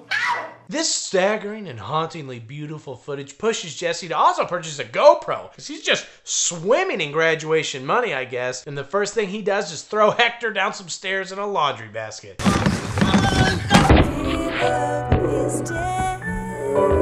Oh shoot! Oh shoot. That valedictorian named Oscar just came out of Crazy Anna's apartment. What are you doing here, man? And before we go any further, I know what you're thinking, David. No! None of these characters are related to Martine from the second movie. We keep the good ones. Yes. That's racist. Hispanic people aren't all related, Dave. I don't know why you would think that. Although, yes. I'm a little surprised they aren't as well, given that the series is so fascinated with randomly having everybody secretly related to each other through a series of complicated broken marriages. But no! Not in this instance. In with the good, out with the bad. Yeah. Yay! Back to Crazy Anna for a minute. Jesse and Hector use a complicated system of pulleys and ropes to drop a GoPro down their air vent into her apartment to see a sequel escalated full frontally nude woman.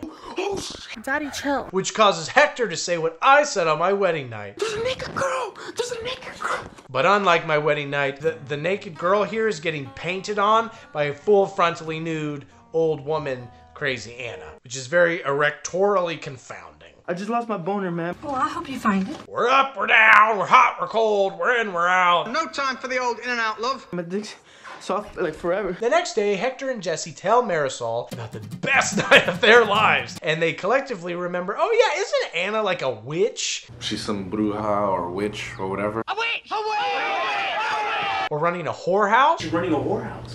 Or both? Both. Both is good. We should send a kid to knock on her. Ah, witch attack! Later that night, they bump into Oscar fleeing from the apparent scene of Anna's death. And also, there's an explosion.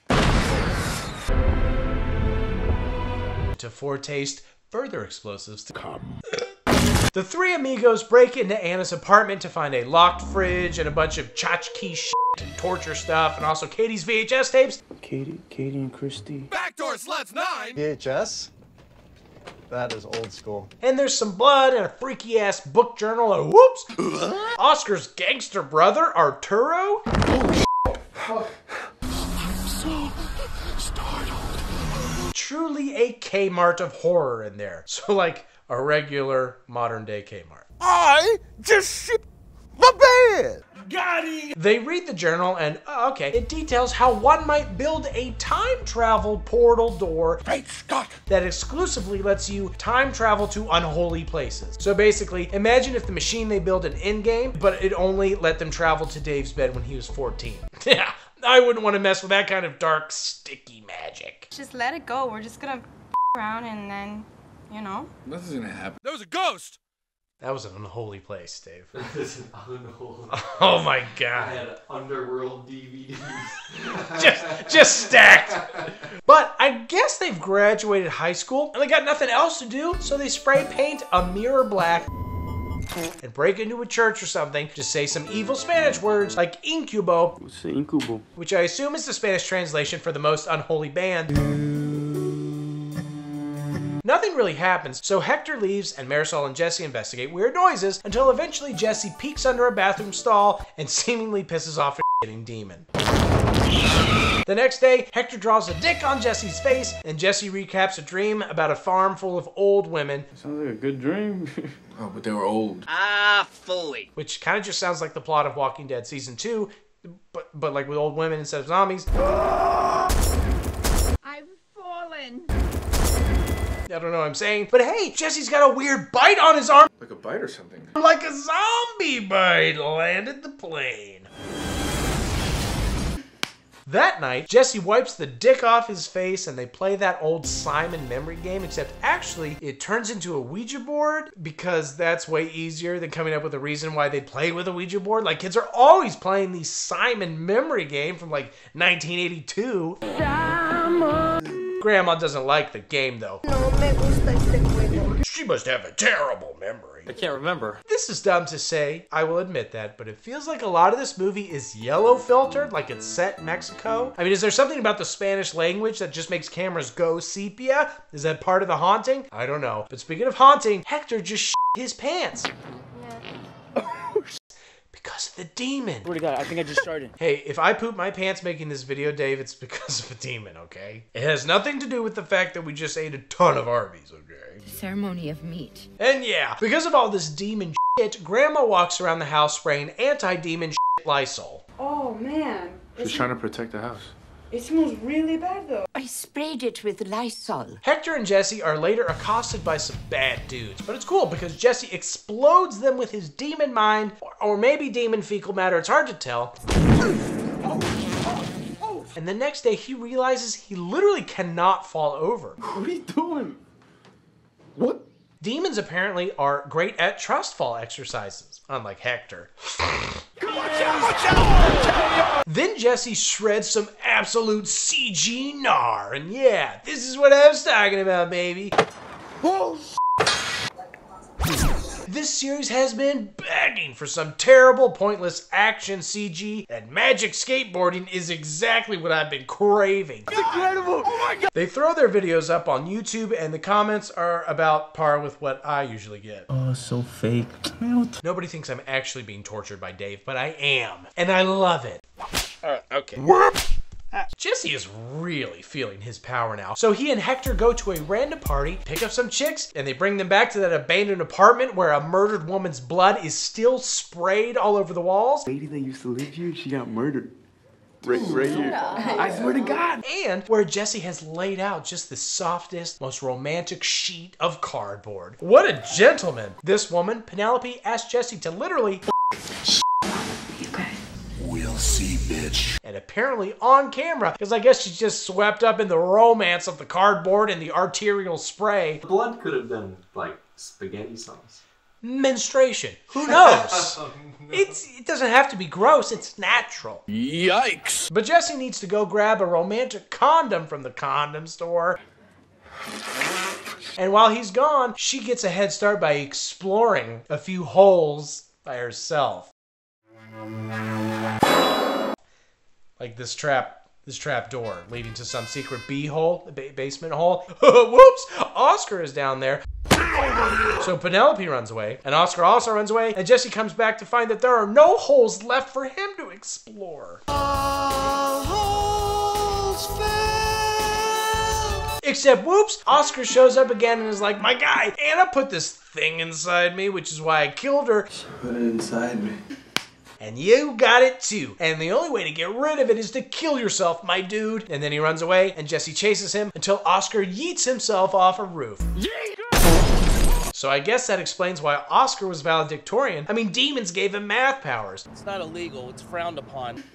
What a lame thing to trade possession for. Like, is he even good at lacrosse? That's what I would use my demon powers for. Maybe then I would have gotten into UVA. Um, they really suck. I went to James Madison. We've all heard of that, right? Every president comes from James Madison University. They redid it, so it's nice now. It's not as filthy. I'm sure it wasn't founded in like 1910 as a girls' school. And Dave, let me tell you what, there are still girls there at James Madison. And boys, uh, you know. Both? Both.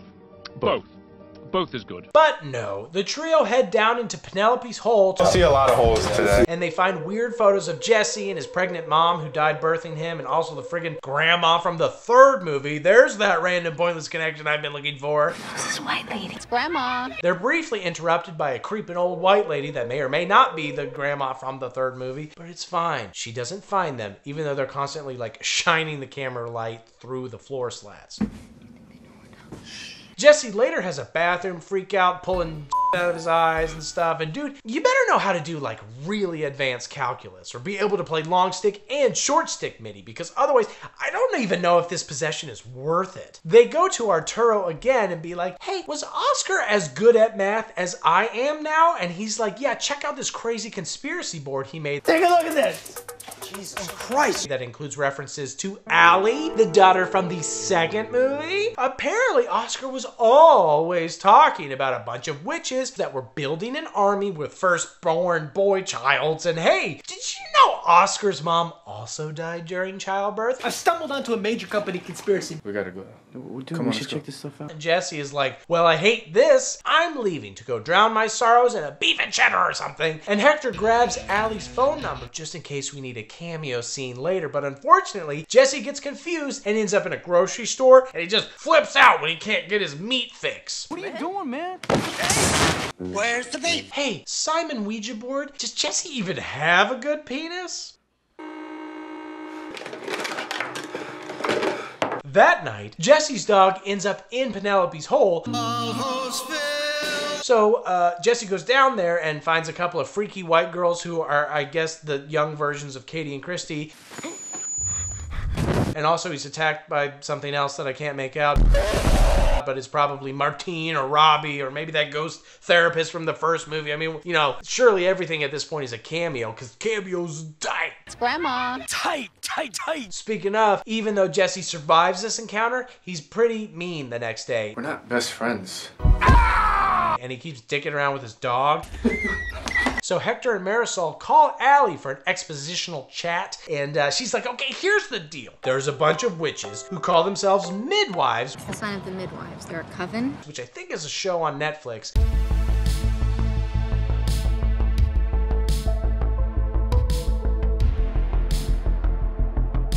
And they mark children in utero for possession or whatever, but it doesn't really manifest until they're 18 because check this out 18? More like three sixes. 666? Add 'em. Wow. Does she also have demon math skills? Oh, and also, they're gonna take Jesse to this random house and do one last ritual to make him like full on demon possessed or whatever. So I guess you guys should probably go there and stop that from happening. But before that, they enlist the help of Jesse's grandma and she takes him to like an anti demon store to get some eggs. Did someone ask for an egg? Just eggs. Is she gonna make Jesse eat them? I can eat 50 eggs. no, that'd be ridiculous. She's gonna rub them all over Jesse. Just like whole eggs. Eggs. Not broken eggs, just an egg. Egg. But this pisses him off till he smashes the eggs. And then he kills the power and like warp explodes the room because hell yeah, baby. Sequel their asses, Jesse. Woo! Woo! Woo! Woo! Woo! Woo! But oops, all that computer generation has made Jesse sleepy. So he sleeps for a long time till he feels rested enough to throw his grandma down the stairs. Just I've fallen and I can't get up. causing Hector to finally put the camera down. Throwing grandma down the stairs is also the only way I can get my kids to put down their iPads and have a real conversation as a family for once. It's just tough because I can really only do that move twice, you know? Grandpas just don't have the same effect, I found. Nobody gives a shit about grandpas. Bunch of liars spending their whole lives in bed until suddenly their grandson wins the tour of a chocolate factory. Oh, and now they can dance? Cause I've got a golden ticket. It's ours, Joe. It's like the only time in this whole series where somebody's like, all right, well, grandma was thrown down the stairs by a demon possessed guy, so I guess I'll put the camera down and check on her. I guess so. You're losing YouTube money though. Gotta do it. Mr. Beast throws 7,000 grandmas down the stairs or whatever. Thank you. $10,000 to whoever can throw the most grandmothers down the stairs. But uh, th- throwing grandmothers down this million dollar staircase, it's like We threw grandma down a $1, a $100, a $1,000, and a million dollar staircase. million dollar staircase. It's like the staircase from the Titanic. Thank you. Jesse disappears, so Marisol and Hector head to the house where the ritual is supposed to happen in the hopes of doing something. But before they can get there, the car dies. And Jesse attacks, forcing Marisol to brain him with Chekhov's bat. That I forgot to mention from earlier. And they throw Jesse in the back seat, but then boom! They're hit by another car, which is apparently driven by witches, who steal Jesse and drive away. Because this is peak Hollywood action, baby. No more slow ass door openings. It's the season of witches T-boning shit. What has happened? Yeah, dude. Get f***ing crushed by witches, slamming in the back of their. Marisol and Hector call in the big guns by convincing Arturo and his large friend to literally bring some big guns to the house, which, wouldn't you know it, happens to be the grandma's house from the third movie. Oh, shit. Here we go again. They wander around for a while until they're attacked, forcing Arturo to literally shotgun witches to death. Hell yeah! Sequels! Oh, shit. Here we go again. For the rest of the movie, Hector runs around with the camera still on, and he sees some seance stuff, and Marisol disappears and then reappears. And then Jesse appears and maybe throws a sheet at him. Distract target. Discombobulate. So Hector escapes through a Satan time travel door to the end of the first movie where he witnesses Katie murder Micah. Micah is so upset. And then Jesse kills him. Cool. I guess. And then Katie presumably goes through the door to Dave's 14 year old bed and is just plastered to it. Dave didn't learn about socks until he was 16. Plastered. like on the ceiling. Ah! it's all over. It's everywhere. This is an unholy place. Somebody like frozen in carbon. Yes. Chewbacca sadly sitting in the corner. Fur matted. Uh, hey, can somebody explain why you, a witch trying to build an army of demon possessed firstborn boy childs, would also need a time travel door that only travels to unholy places? What does that add to your plan exactly? What is your plan? What the hell is even going on? How are these movies still earning minimum 10 times their budget? Madness. I hope witches get a tank in the next one, because the real monster in this movie is the woke demilitarization of our country's witches. I agree with it. Joe Biden won't let witches have tanks.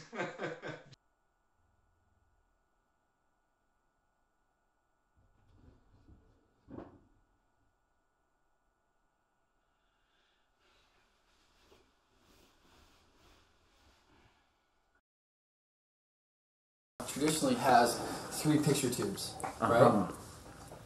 This one has six. Oh my god. The ghost dimension? I'm pretty sure that we've spent the last five movies making it very clear this is not a ghost That's what I built my career around. and is in fact a demon that may or may not be named Ed. I'm very uncomfortable with it. That's still true, spoiler, making this title literally just incorrect.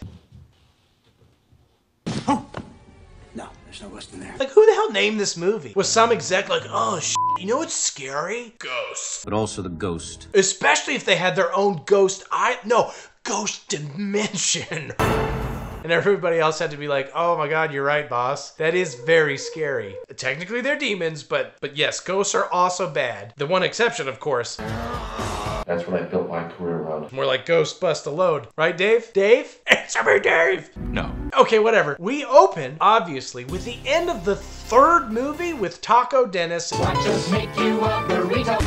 Except, uh, somebody apparently picked up the camera and continued filming because how else would we see this ponytail guy who's now the girl's teacher? He's gonna be your teacher. A man with a ponytail. And hey, Kristi, you're gonna have a chosen son, and Katie. Your gift is your strength. This man with a ponytail makes a valid point. And also, there's another girl out there that, that's like you guys, so cool. Yeah, I can see why they needed to film this. It's gonna be a great moment for the annual Midwives Coven Convention announcement trailer. A lot is going to be asked of you. I literally, why are they filming this on like VHS tapes? For who? Fast forward to November 2013, and this other girl named Leela draws her Uncle Mike. Uncle Mike? Screaming. Oh, shit, there he is! Mike is here because he got dumped. Probably because he's clumsy. He has a lot of. I'm breaking up with you. I left her, so that's. And besides Leela's parents, a random sexy woman named Skylar is also staying with them because what's the point of being able to afford such a massive house if you can't populate it with random sexy women and sad uncles? That's the American dream.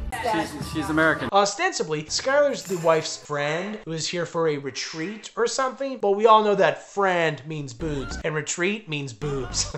now the sentence makes sense. You're here for rehab, right? That's. No, I'm not here for rehab. Mike and Daddy wrap Christmas lights to distract themselves from their mutual friends' massive friendships Just, you know, two robust reindeer. when they stumble upon a box with a huge ass video camera and some VHS tapes. Now, the camera seems shitty at first, I don't know if it's out of focus or what. but actually, it's just tuned to the ghost dimension, which in this instance means it sees demons, I think, and not ghosts. It's custom built. You wouldn't get it. Most cameras have three tubes, but this one has like six tubes. Traditionally has three picture tubes, right? Uh-huh. This one has six Oh my god. That's a lot of tubes. That's too many tubes. what are you gonna do with all these extra You're tubes? gonna see, I hate to, you're gonna see ghosts on those tubes. Dude, I hate to, I hate to, I hate to tell you this, but like, you have so many tubes, you're gonna see ghosts. I have no idea what this does. And man, we're full on with the CG dust demon clouds of death, huh? No more slipping off bed covers with invisible wires for this series. We're gonna see it all. Sex? That's right. It never happened. Oh no, the dust thing is gone, but the wife is here, meaning Daddy's thing is back. I will have sex with you. I can't see the thing anymore. I think it's gone. Oh, now the dust talks to Leela. Bummer. Looks like we're basically gonna redo the third movie, but instead of not being able to see everything, we will get to see everything, which as we all know is much scarier. The best scary movies have the villain fully visible and well lit at all times. I Hope you're having an evil day today. Who are you talking to? And hey, look, now they're watching the sex footage from the third movie, which is also a fond memory of mine. But then they start watching, I guess, old training footage of the sisters. Oh. Use what's inside. This is. Like, why the hell would the dumbass witches film this? Like, who is this footage for? Witches. Is this girl? She's just taking minutes. Yeah. Obviously, Dave is into it, but the movie couldn't have been made exclusively for him. He's there. Sorry. Also, weirdly, 1980s Katie describes Leela's room in the present, which is crazy. She's describing Leela's room. Did you eat more chocolate than I did? Man, I wonder if they have a time travel held portal door or some shit. That's the only logical explanation. Ah, crap, my brain and also the house blew a fuse. Mike and Daddy follow some ghost around until Mike disappears for a second, and if he doesn't do a jump scare, I'll give every single patron $1 billion.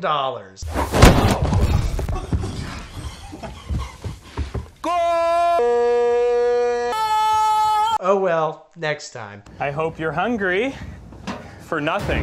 Uh. Sign up for my Patreon for your chance to win my next reckless bet. I'm like Mr. Beast, except nobody ever wins. And also, you will definitely stay blind.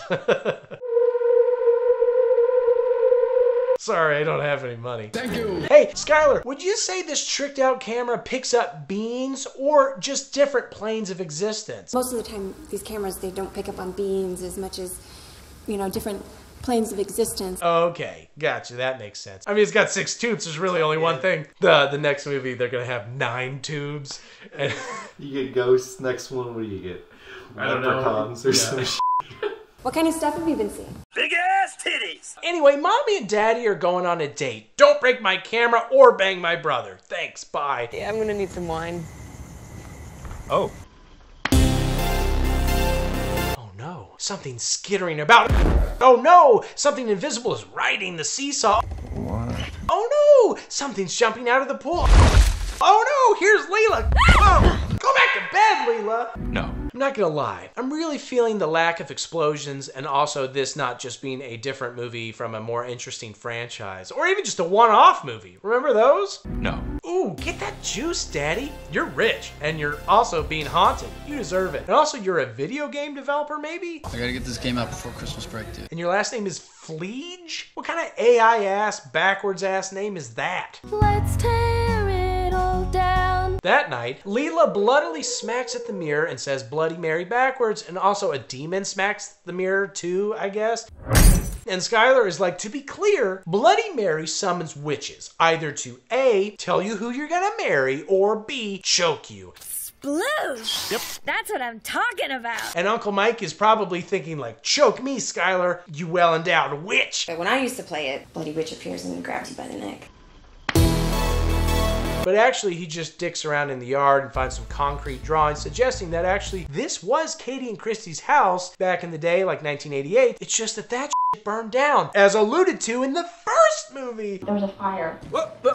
And then the whole family reportedly died, so they built this new house on top of it, even though Katie and Kristi both didn't die and still very much exist later on. And Daddy is like, that's it. I'm setting up a system of cameras to try and figure out what's going on here. And his wife is like, yeah, that makes sense. Fine. Do it. I shouldn't. Do it. That should just about do it. Later, Leela is like, Mom, did I die when I was a baby? And her mom is like, unfortunately, no. There was a cord at Mommy's tummy, and it got wrapped around her neck. Sploosh! But obviously, here you are being weird as shit and ruining everybody's fun, sexy Christmas vibes. I wish I knew how. Did I die? That night, Leela wakes up, and then the next day, she bites a kid at school so hard he needs stitches. And like, man, I remember my first kiss. My pants needed stitches, right, Dave?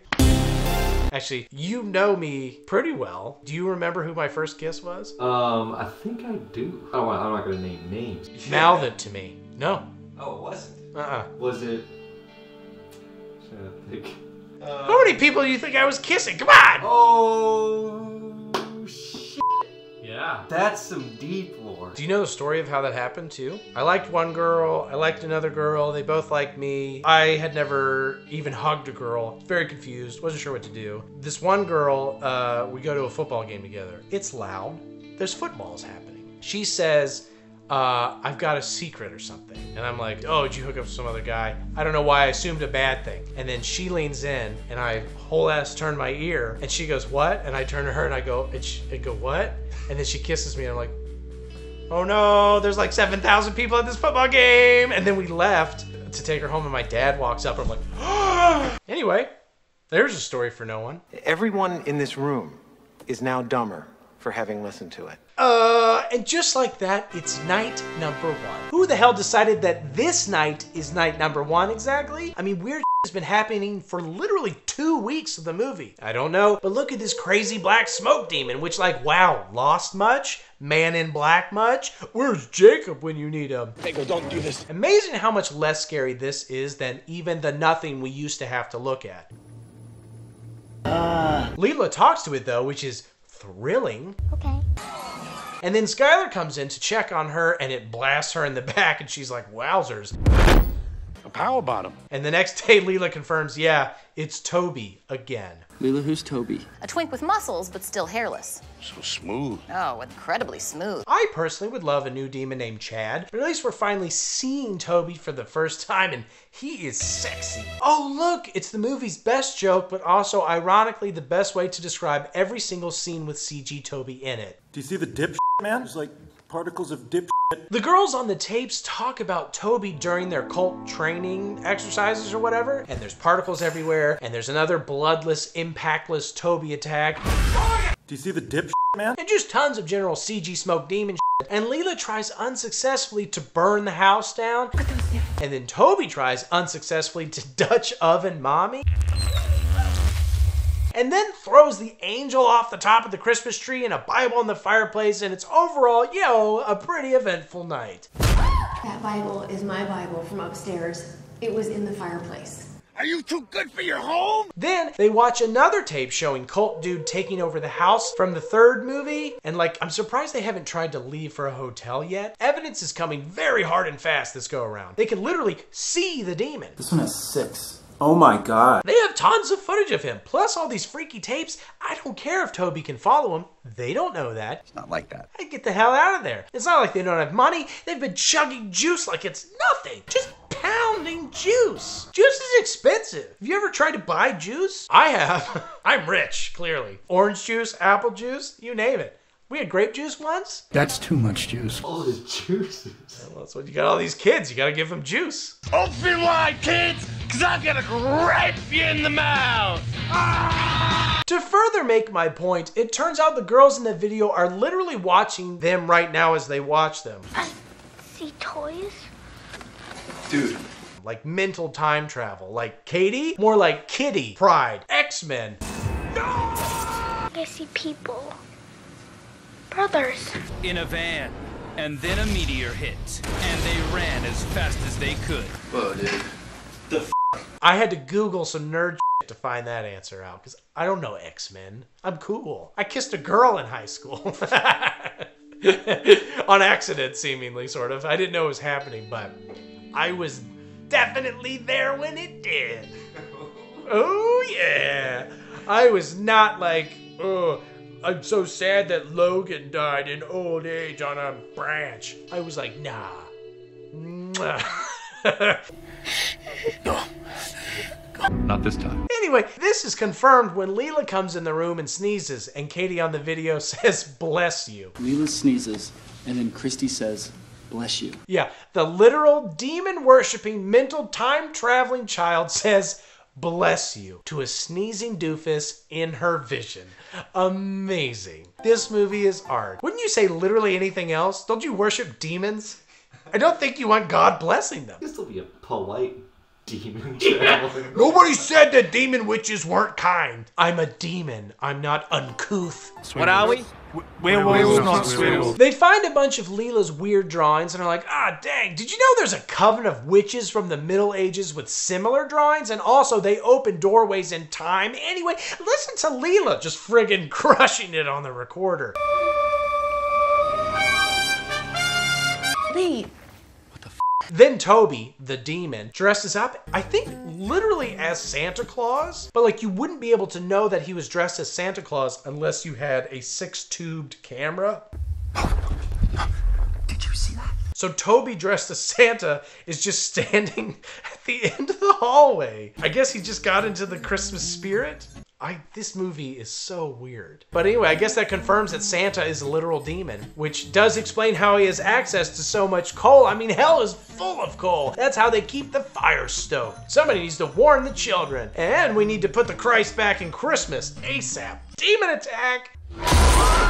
Anyway, because the mom is, I guess, a Christian despite this, What the f- This is why you're going to hell. they decide to call all the Catholic priests in town until one agrees to come case their joint. And he's like, Your daughter is for sure being stalked by a demon. And like, we know, Father. And he's like, So don't go anywhere, it'll follow. And like, We know, Father. and then he anoints Leela with some holy water and also Bubba. Does your friend have a name? His name is Geraldine? It's Bubba. But as we all know, you don't f- with Bubba. So Leela bites the priest, and he's like, I think I'll come back later. Stay relaxed. They find some tape of the house from like right before they moved in, and also their realtor was named Katie, and I think they're trying to suggest that it's the same Katie as all the other movies, but the name is different, the last name is different. You know, I'm not saying it had to do with the haunting stuff. I don't. I'm not saying that at all. I don't know what it was. And anyway, regardless, they realized they were tricked into moving into this house They're saying that they've never heard of her. She never worked for them. because it's somehow useful for the witch's nefarious plans. But like, I thought the whole thing about demons was they were mobile. Like, literally, it doesn't matter where you go, they're able to follow. So, what difference does it make if they're in this house? A plot twist for no reason? Yeah, we weren't even looking in this neighborhood. Remember? I remember. Here are a few more shots of the demon running around and bumping into shit, but otherwise generally causing no harm whatsoever.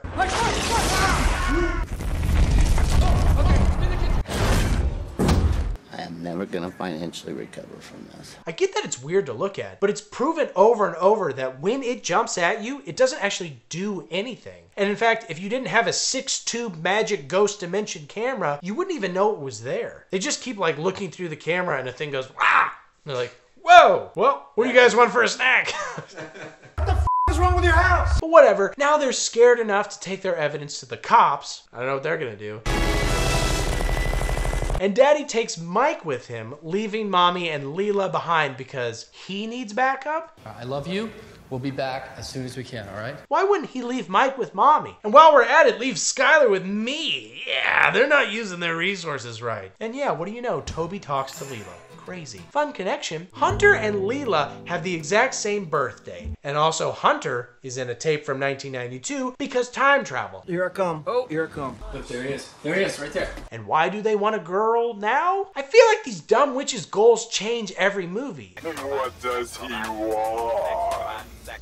What do you want? I don't know, who cares? Leela draws a bunch of symbols on her wall that I guess open a time portal to hell. The old glory hole! She goes into the portal, the time portal, and man, how far have we come in this series, am I right? I left them on the counter. Sure. Sonic Blast! Finally, they decide to leave, and the next day, Skylar and Mike gather some dildos and Super Nintendos and other important things that they left behind in their hasty exit, and they find some more weird Leela drawings. And are like, oh my god, this sheep drawing? What if the witches are using them in some kind of ritual to, to give Toby a human body? And that is crazy. It also seems like kind of a big jump from a weird sheep drawing to being like, I, de- I think this means that a demon is going to become flesh with these two kids. Oop, looks like Leila was transported from the hotel to the house anyway to pot the wall because again physical location doesn't matter he's a demon he can do whatever and mommy and daddy aren't far behind but they probably had to take a cab i don't think they were able to demon uber their way Where am I? We were at a hotel six miles away. And oh, look, there's Father Todd again. And he's like, okay, here's the deal. I don't think we need an exorcism per se, because that's a different franchise. An exorcism is a remedy for someone who's possessed, and I do not think that's what's happening right here. I'll allow it. But I do think we need to do an extermination. And to prove this, I'm just going to say a bunch of random shit in literal montage. I believe that this is no coincidence, and I believe she's part of a prophecy. The witches on those tapes, the midwives. Also, the reason Hunter and Leila are important is because they're both born June 6, 2005. Sixth month, sixth day, sixth year of the 2000s. The sixth year, 2005, 666. Also, it's D Day, and also it's the 60, what, like 61st anniversary of it? Ah! Your daughter was born on June 6th, 2005, right?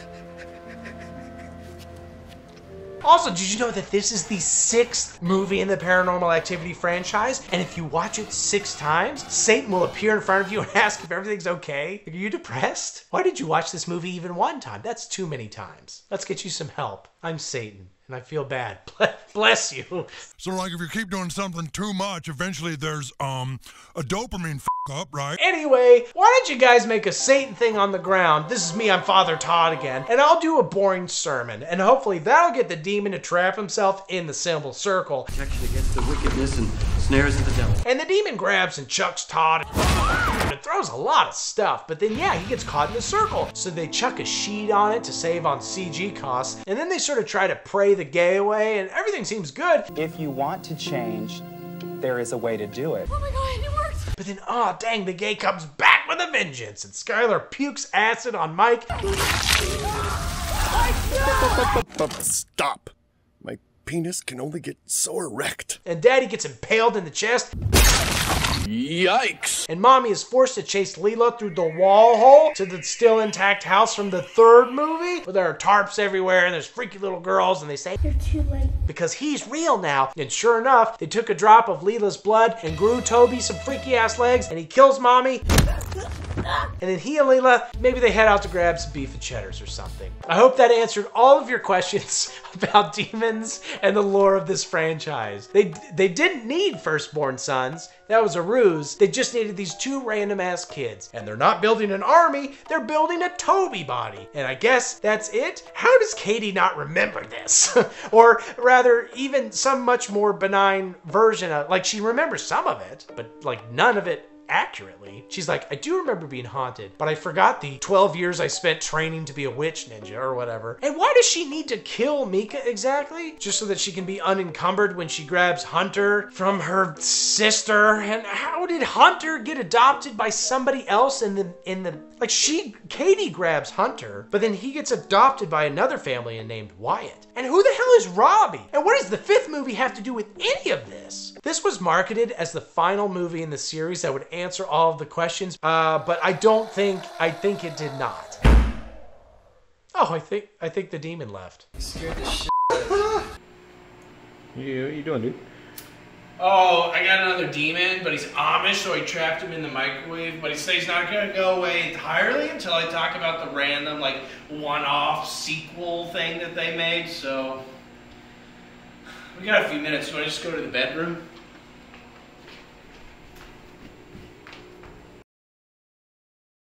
They all have like, how do I say this? Like nice butts like that? Immediately, I'm like, damn, girl, that's a fine ass camera. You got focused on your fine ass face. And she's like, I'm gonna meet my first fine ass biological relative ever named Samuel. Oh, shit. There he is. Ah, this fine ass camera is run by a fine ass man named Chris, hoping to make a fine ass documentary. Man, there is more fine ass here than a donkey brothel. He's, he's getting undressed. Los hombres de esta región tienen sexo con burra porque es como una tradición. And that's enough of that. Samuel's like, I've actually uh, never uh, been in front of a camera before, because obviously that's a sin because I'm Amish. but Right, right. there are exceptions.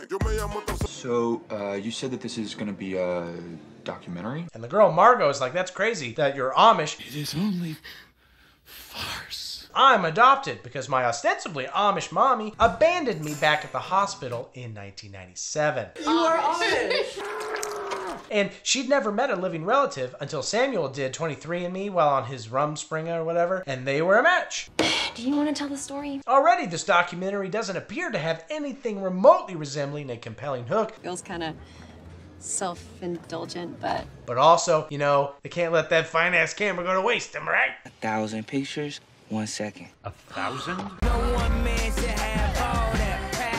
It's a great camera. I'm right. So they fly to Amish country and meet up with the sound guy Dale. I got COVID like five times. And as they drive, there are drone shots and inserted music, and I think we're gonna be pretty relaxed with the whole found footage thing. look what I found. The footage. Uh, nope. Yes, Chris is the one flying the drone, but that music could only have been inserted in post production. Now he's inserting into this.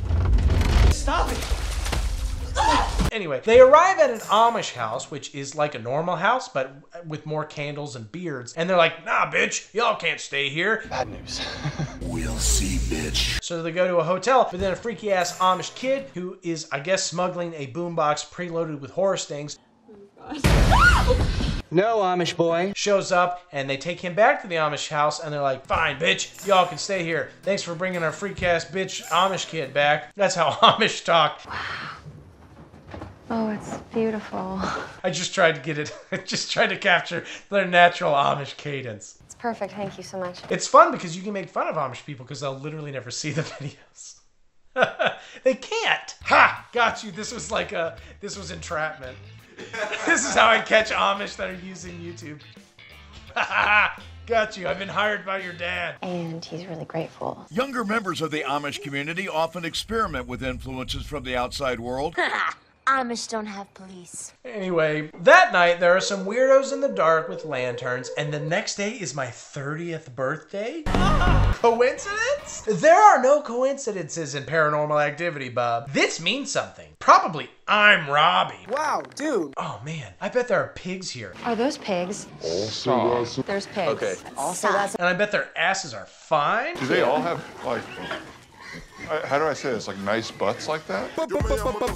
Stop. I think I could get used to this whole Amish thing. Hey, you guys want to see the loft? Yes. Can we? I mean, look at all these bee holes, There's just lots of holes around here. barn holes. Beehole. Yeah. It's huge. Dale gets so into it, he goes full native. Although it does kind of make him look like a. Bitch ass girl. They wander around and ask people about Margot's mom, named Sarah, and learn that she hooked up with somebody outside the community. And also, according to this weird kid, she's maybe still alive, but also does not like Margot. What did you say? He doesn't like you. We'll see, bitch. Sounds like a pretty classic mom to me. Oh, The thought of me dead gives you an erection? Wait, Weird things happen that aren't even really worth mentioning, but check out Chris's camera's fine ass slow mo. Dave, why don't my videos look this good? Film me doing something cool in slow mo or you're fired.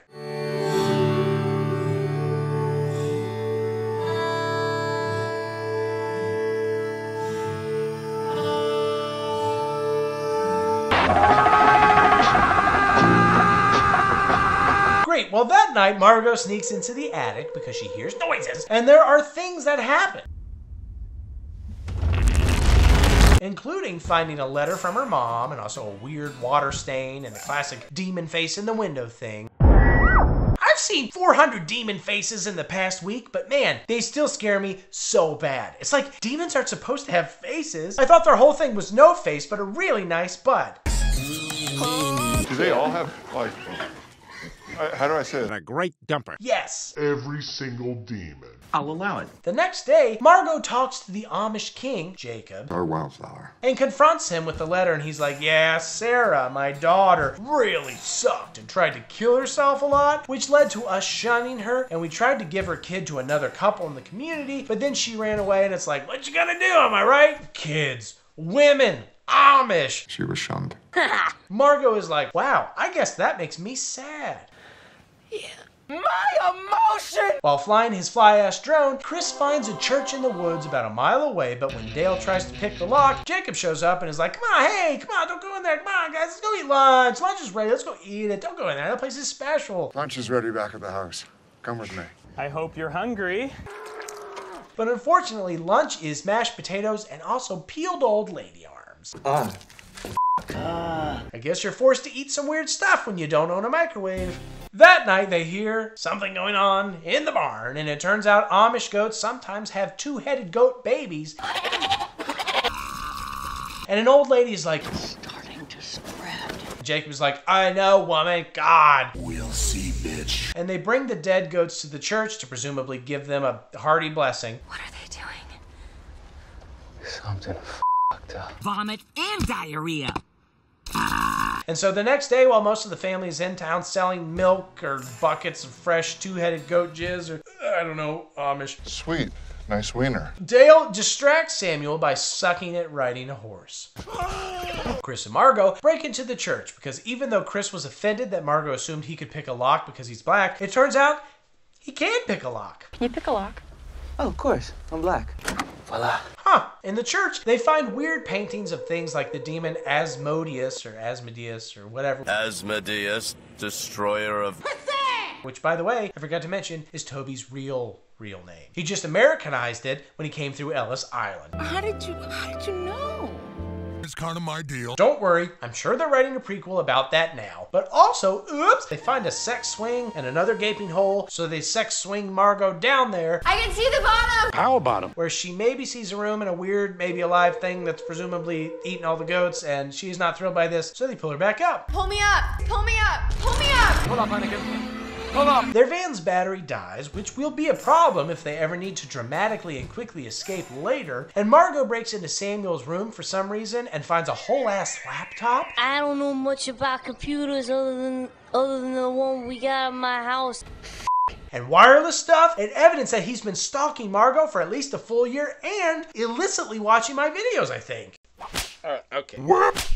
Stop all the downloading. Thank you, Samuel. Like and subscribe. Join my Patreon. This makes her want to leave and probably deactivate her Facebook account. But remember what I said about the whole van thing? Battery totally f***ing dead. Damn. Asmodeus, destroyer of batteries. Unfortunate timing, but it's cool. They'll try and get a new battery tomorrow. Hopefully, nothing bad happens between now and then. Thank God time isn't linear. Someone once told me time is a flat. Glory hole! What? Like, for example, it'd really suck if that night Margot was attacked by a demon and thrown against the ceiling Where'd she go? and bled all over her pants and bed.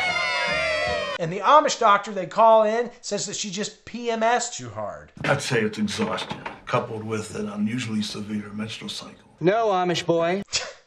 Amish medicine oh, just isn't really the best. Yeah, it's not up to up to par in some aspects. She lost a fair amount of blood, but she's going to be fine. Really? Now, I know menstrual cycles can be tough, but they don't usually squirt you all the way to the ceiling. Unless you're Amish. It's in that butter.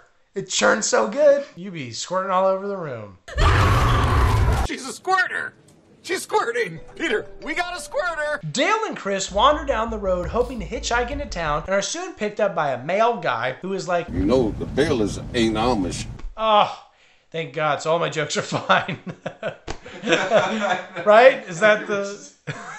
sure, they're weird, but they're not Amish weird. There's some other flavor of weird. The Ceremony of meat. And they're like, ha, well, hey, battery salesman, can we dick around on your computer? And he's like, sure, but Just don't look up anything weird. So they do a classic Google search and determine that, yeah, there's demon stuff going on. Demonic prince of lust, suffering, and Big ass titty. But it's okay because at some point, some people found a way to trap the demon inside a woman and then transfer it to her daughter, and etc., and etc., and so on, and so on. On, and if they ever let it out, it'll kill everybody. But for now, it just maybe causes a heavy flow.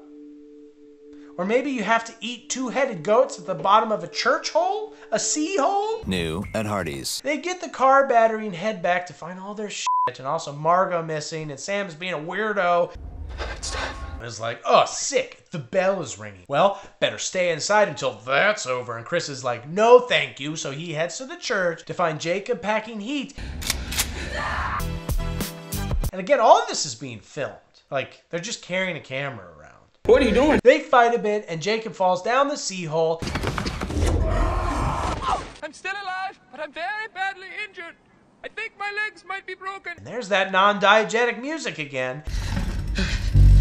And you know, other than the demon name and the existence of witches, there's really not much tying this movie to the rest of the franchise. But anyway, Chris also dives into the sea hole, and Jacob is looking rough. Okay.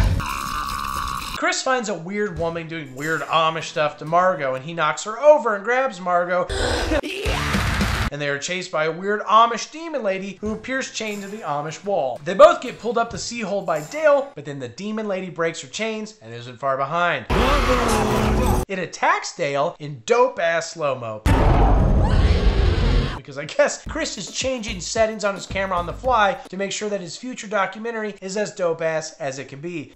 And hey, is anybody gonna give Margot a coat? Seems kinda selfish, dudes. Chris and Margot hide in the barn, but obviously they're attacked by the thing and it knocks Chris down. So Margot grabs a meat hook and tries to do the whole I'm your daughter, weird demon possessed sewer lady. Surely your motherly instincts won't allow you to meat hook to the neck! This is exactly how it went every Saturday morning when my mom tried to make me do chores. They scuffle a bit more, but Demon Mommy falls down Chekhov's beehole and presumably dies. Chris is fine, I guess. But they have to go grab the van keys from Dale's slow mode dead ass, and on the way, we get more random music. And it turns out that they've gone full Amish crazy out here. Girlfriends barfed on boyfriends. Kids barfed on their parents. A fat lady barfed in her purse. and everybody is murdering everybody, but it's cool because they get to the van, and after a few seconds of it not starting, it actually does start, and they full on escape.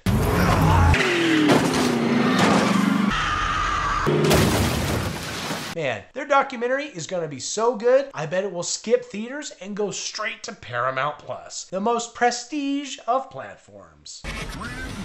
But wait, we're not quite finished because a cop drives up and finds Sam fake crying like a baby. Oh, oh, But then Sam makes him shoot himself in the head, and then another cop shoots himself in the head, and then Samuel steals the cop car and turns on some nice radio tunes while the credits play. I know he's not actually Amish, but does Sam know how to drive a car? I guess he's imbued with Satan now, and you have to assume that the Prince of Darkness can drive stick, right? Yeah, cut. Should we get the demon out of the microwave? Oh, I totally forgot. Oh, no, I think we're good. I guess that explains why the microwave was so yucky. Good thing we got rid of both demons. What the heck? I'm under my bed because I think I heard something, but I'm not really sure. I just, I worry.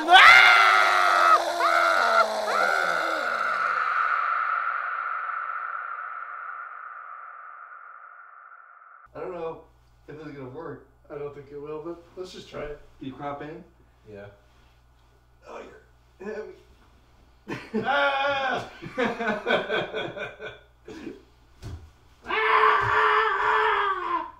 the f***ing frame is falling over.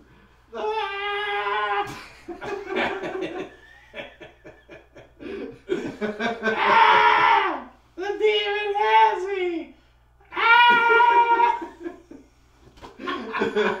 well, that was embarrassing for you.